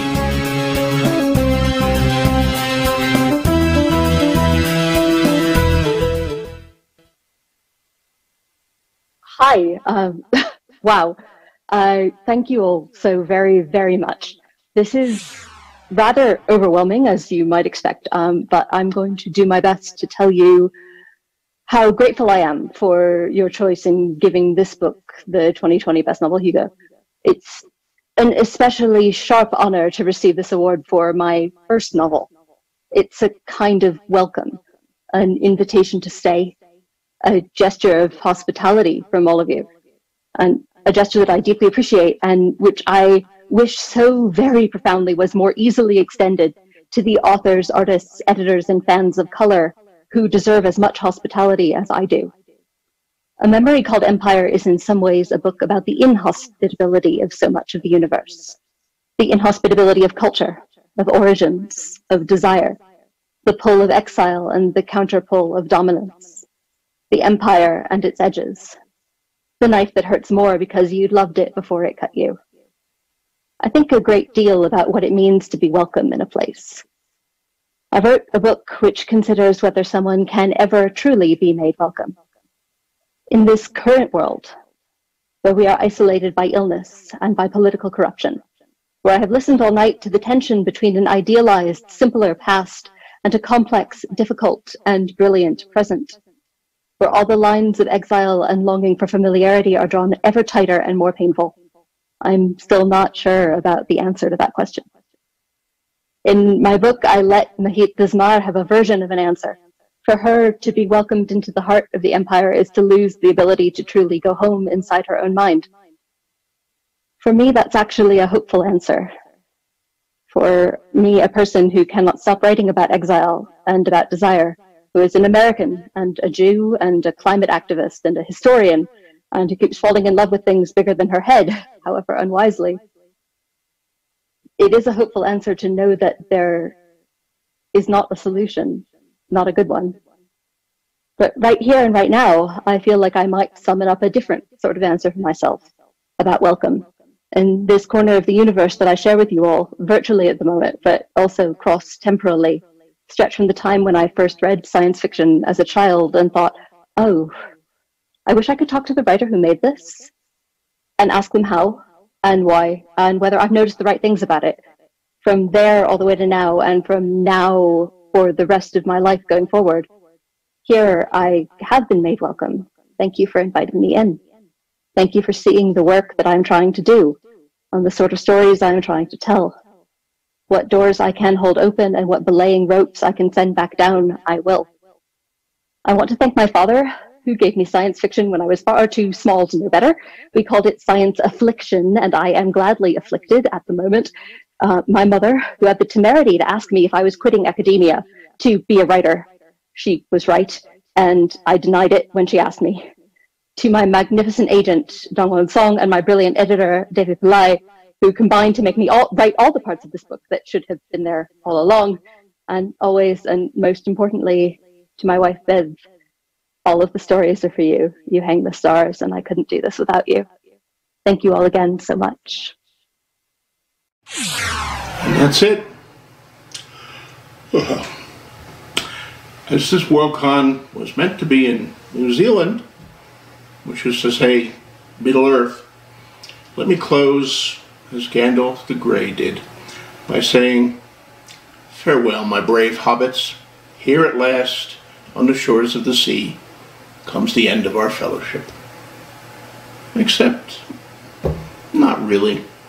There'll be another Worldcon next year in Washington, D.C. Another Hugo Awards. More winners and more losers. The road goes ever on and on, and so does fandom.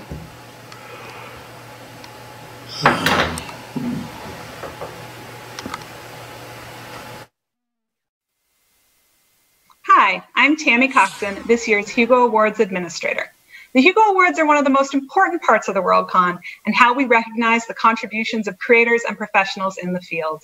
But I want to take just a moment to also recognize the con contributions of hundreds of volunteers who give thousands of hours of their time, because without them, there would be no Worldcon to present the Hugo Awards.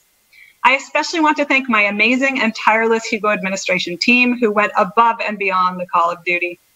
And I want to thank the 1,584 fans who nominated works for the awards and the 2,221 who voted. We know from when your ballots came in that you were reading up to the very last minute so you could make the most informed decisions possible. Thank you. Hi, I'm Larry Dixon. And I'm Mercedes Lackey. We'd like to congratulate all of the nominees. And all of the Hugo winners for 2020. That's right. You've been part of the first ever virtual Hugo Awards, and congratulations to everyone. You make history again.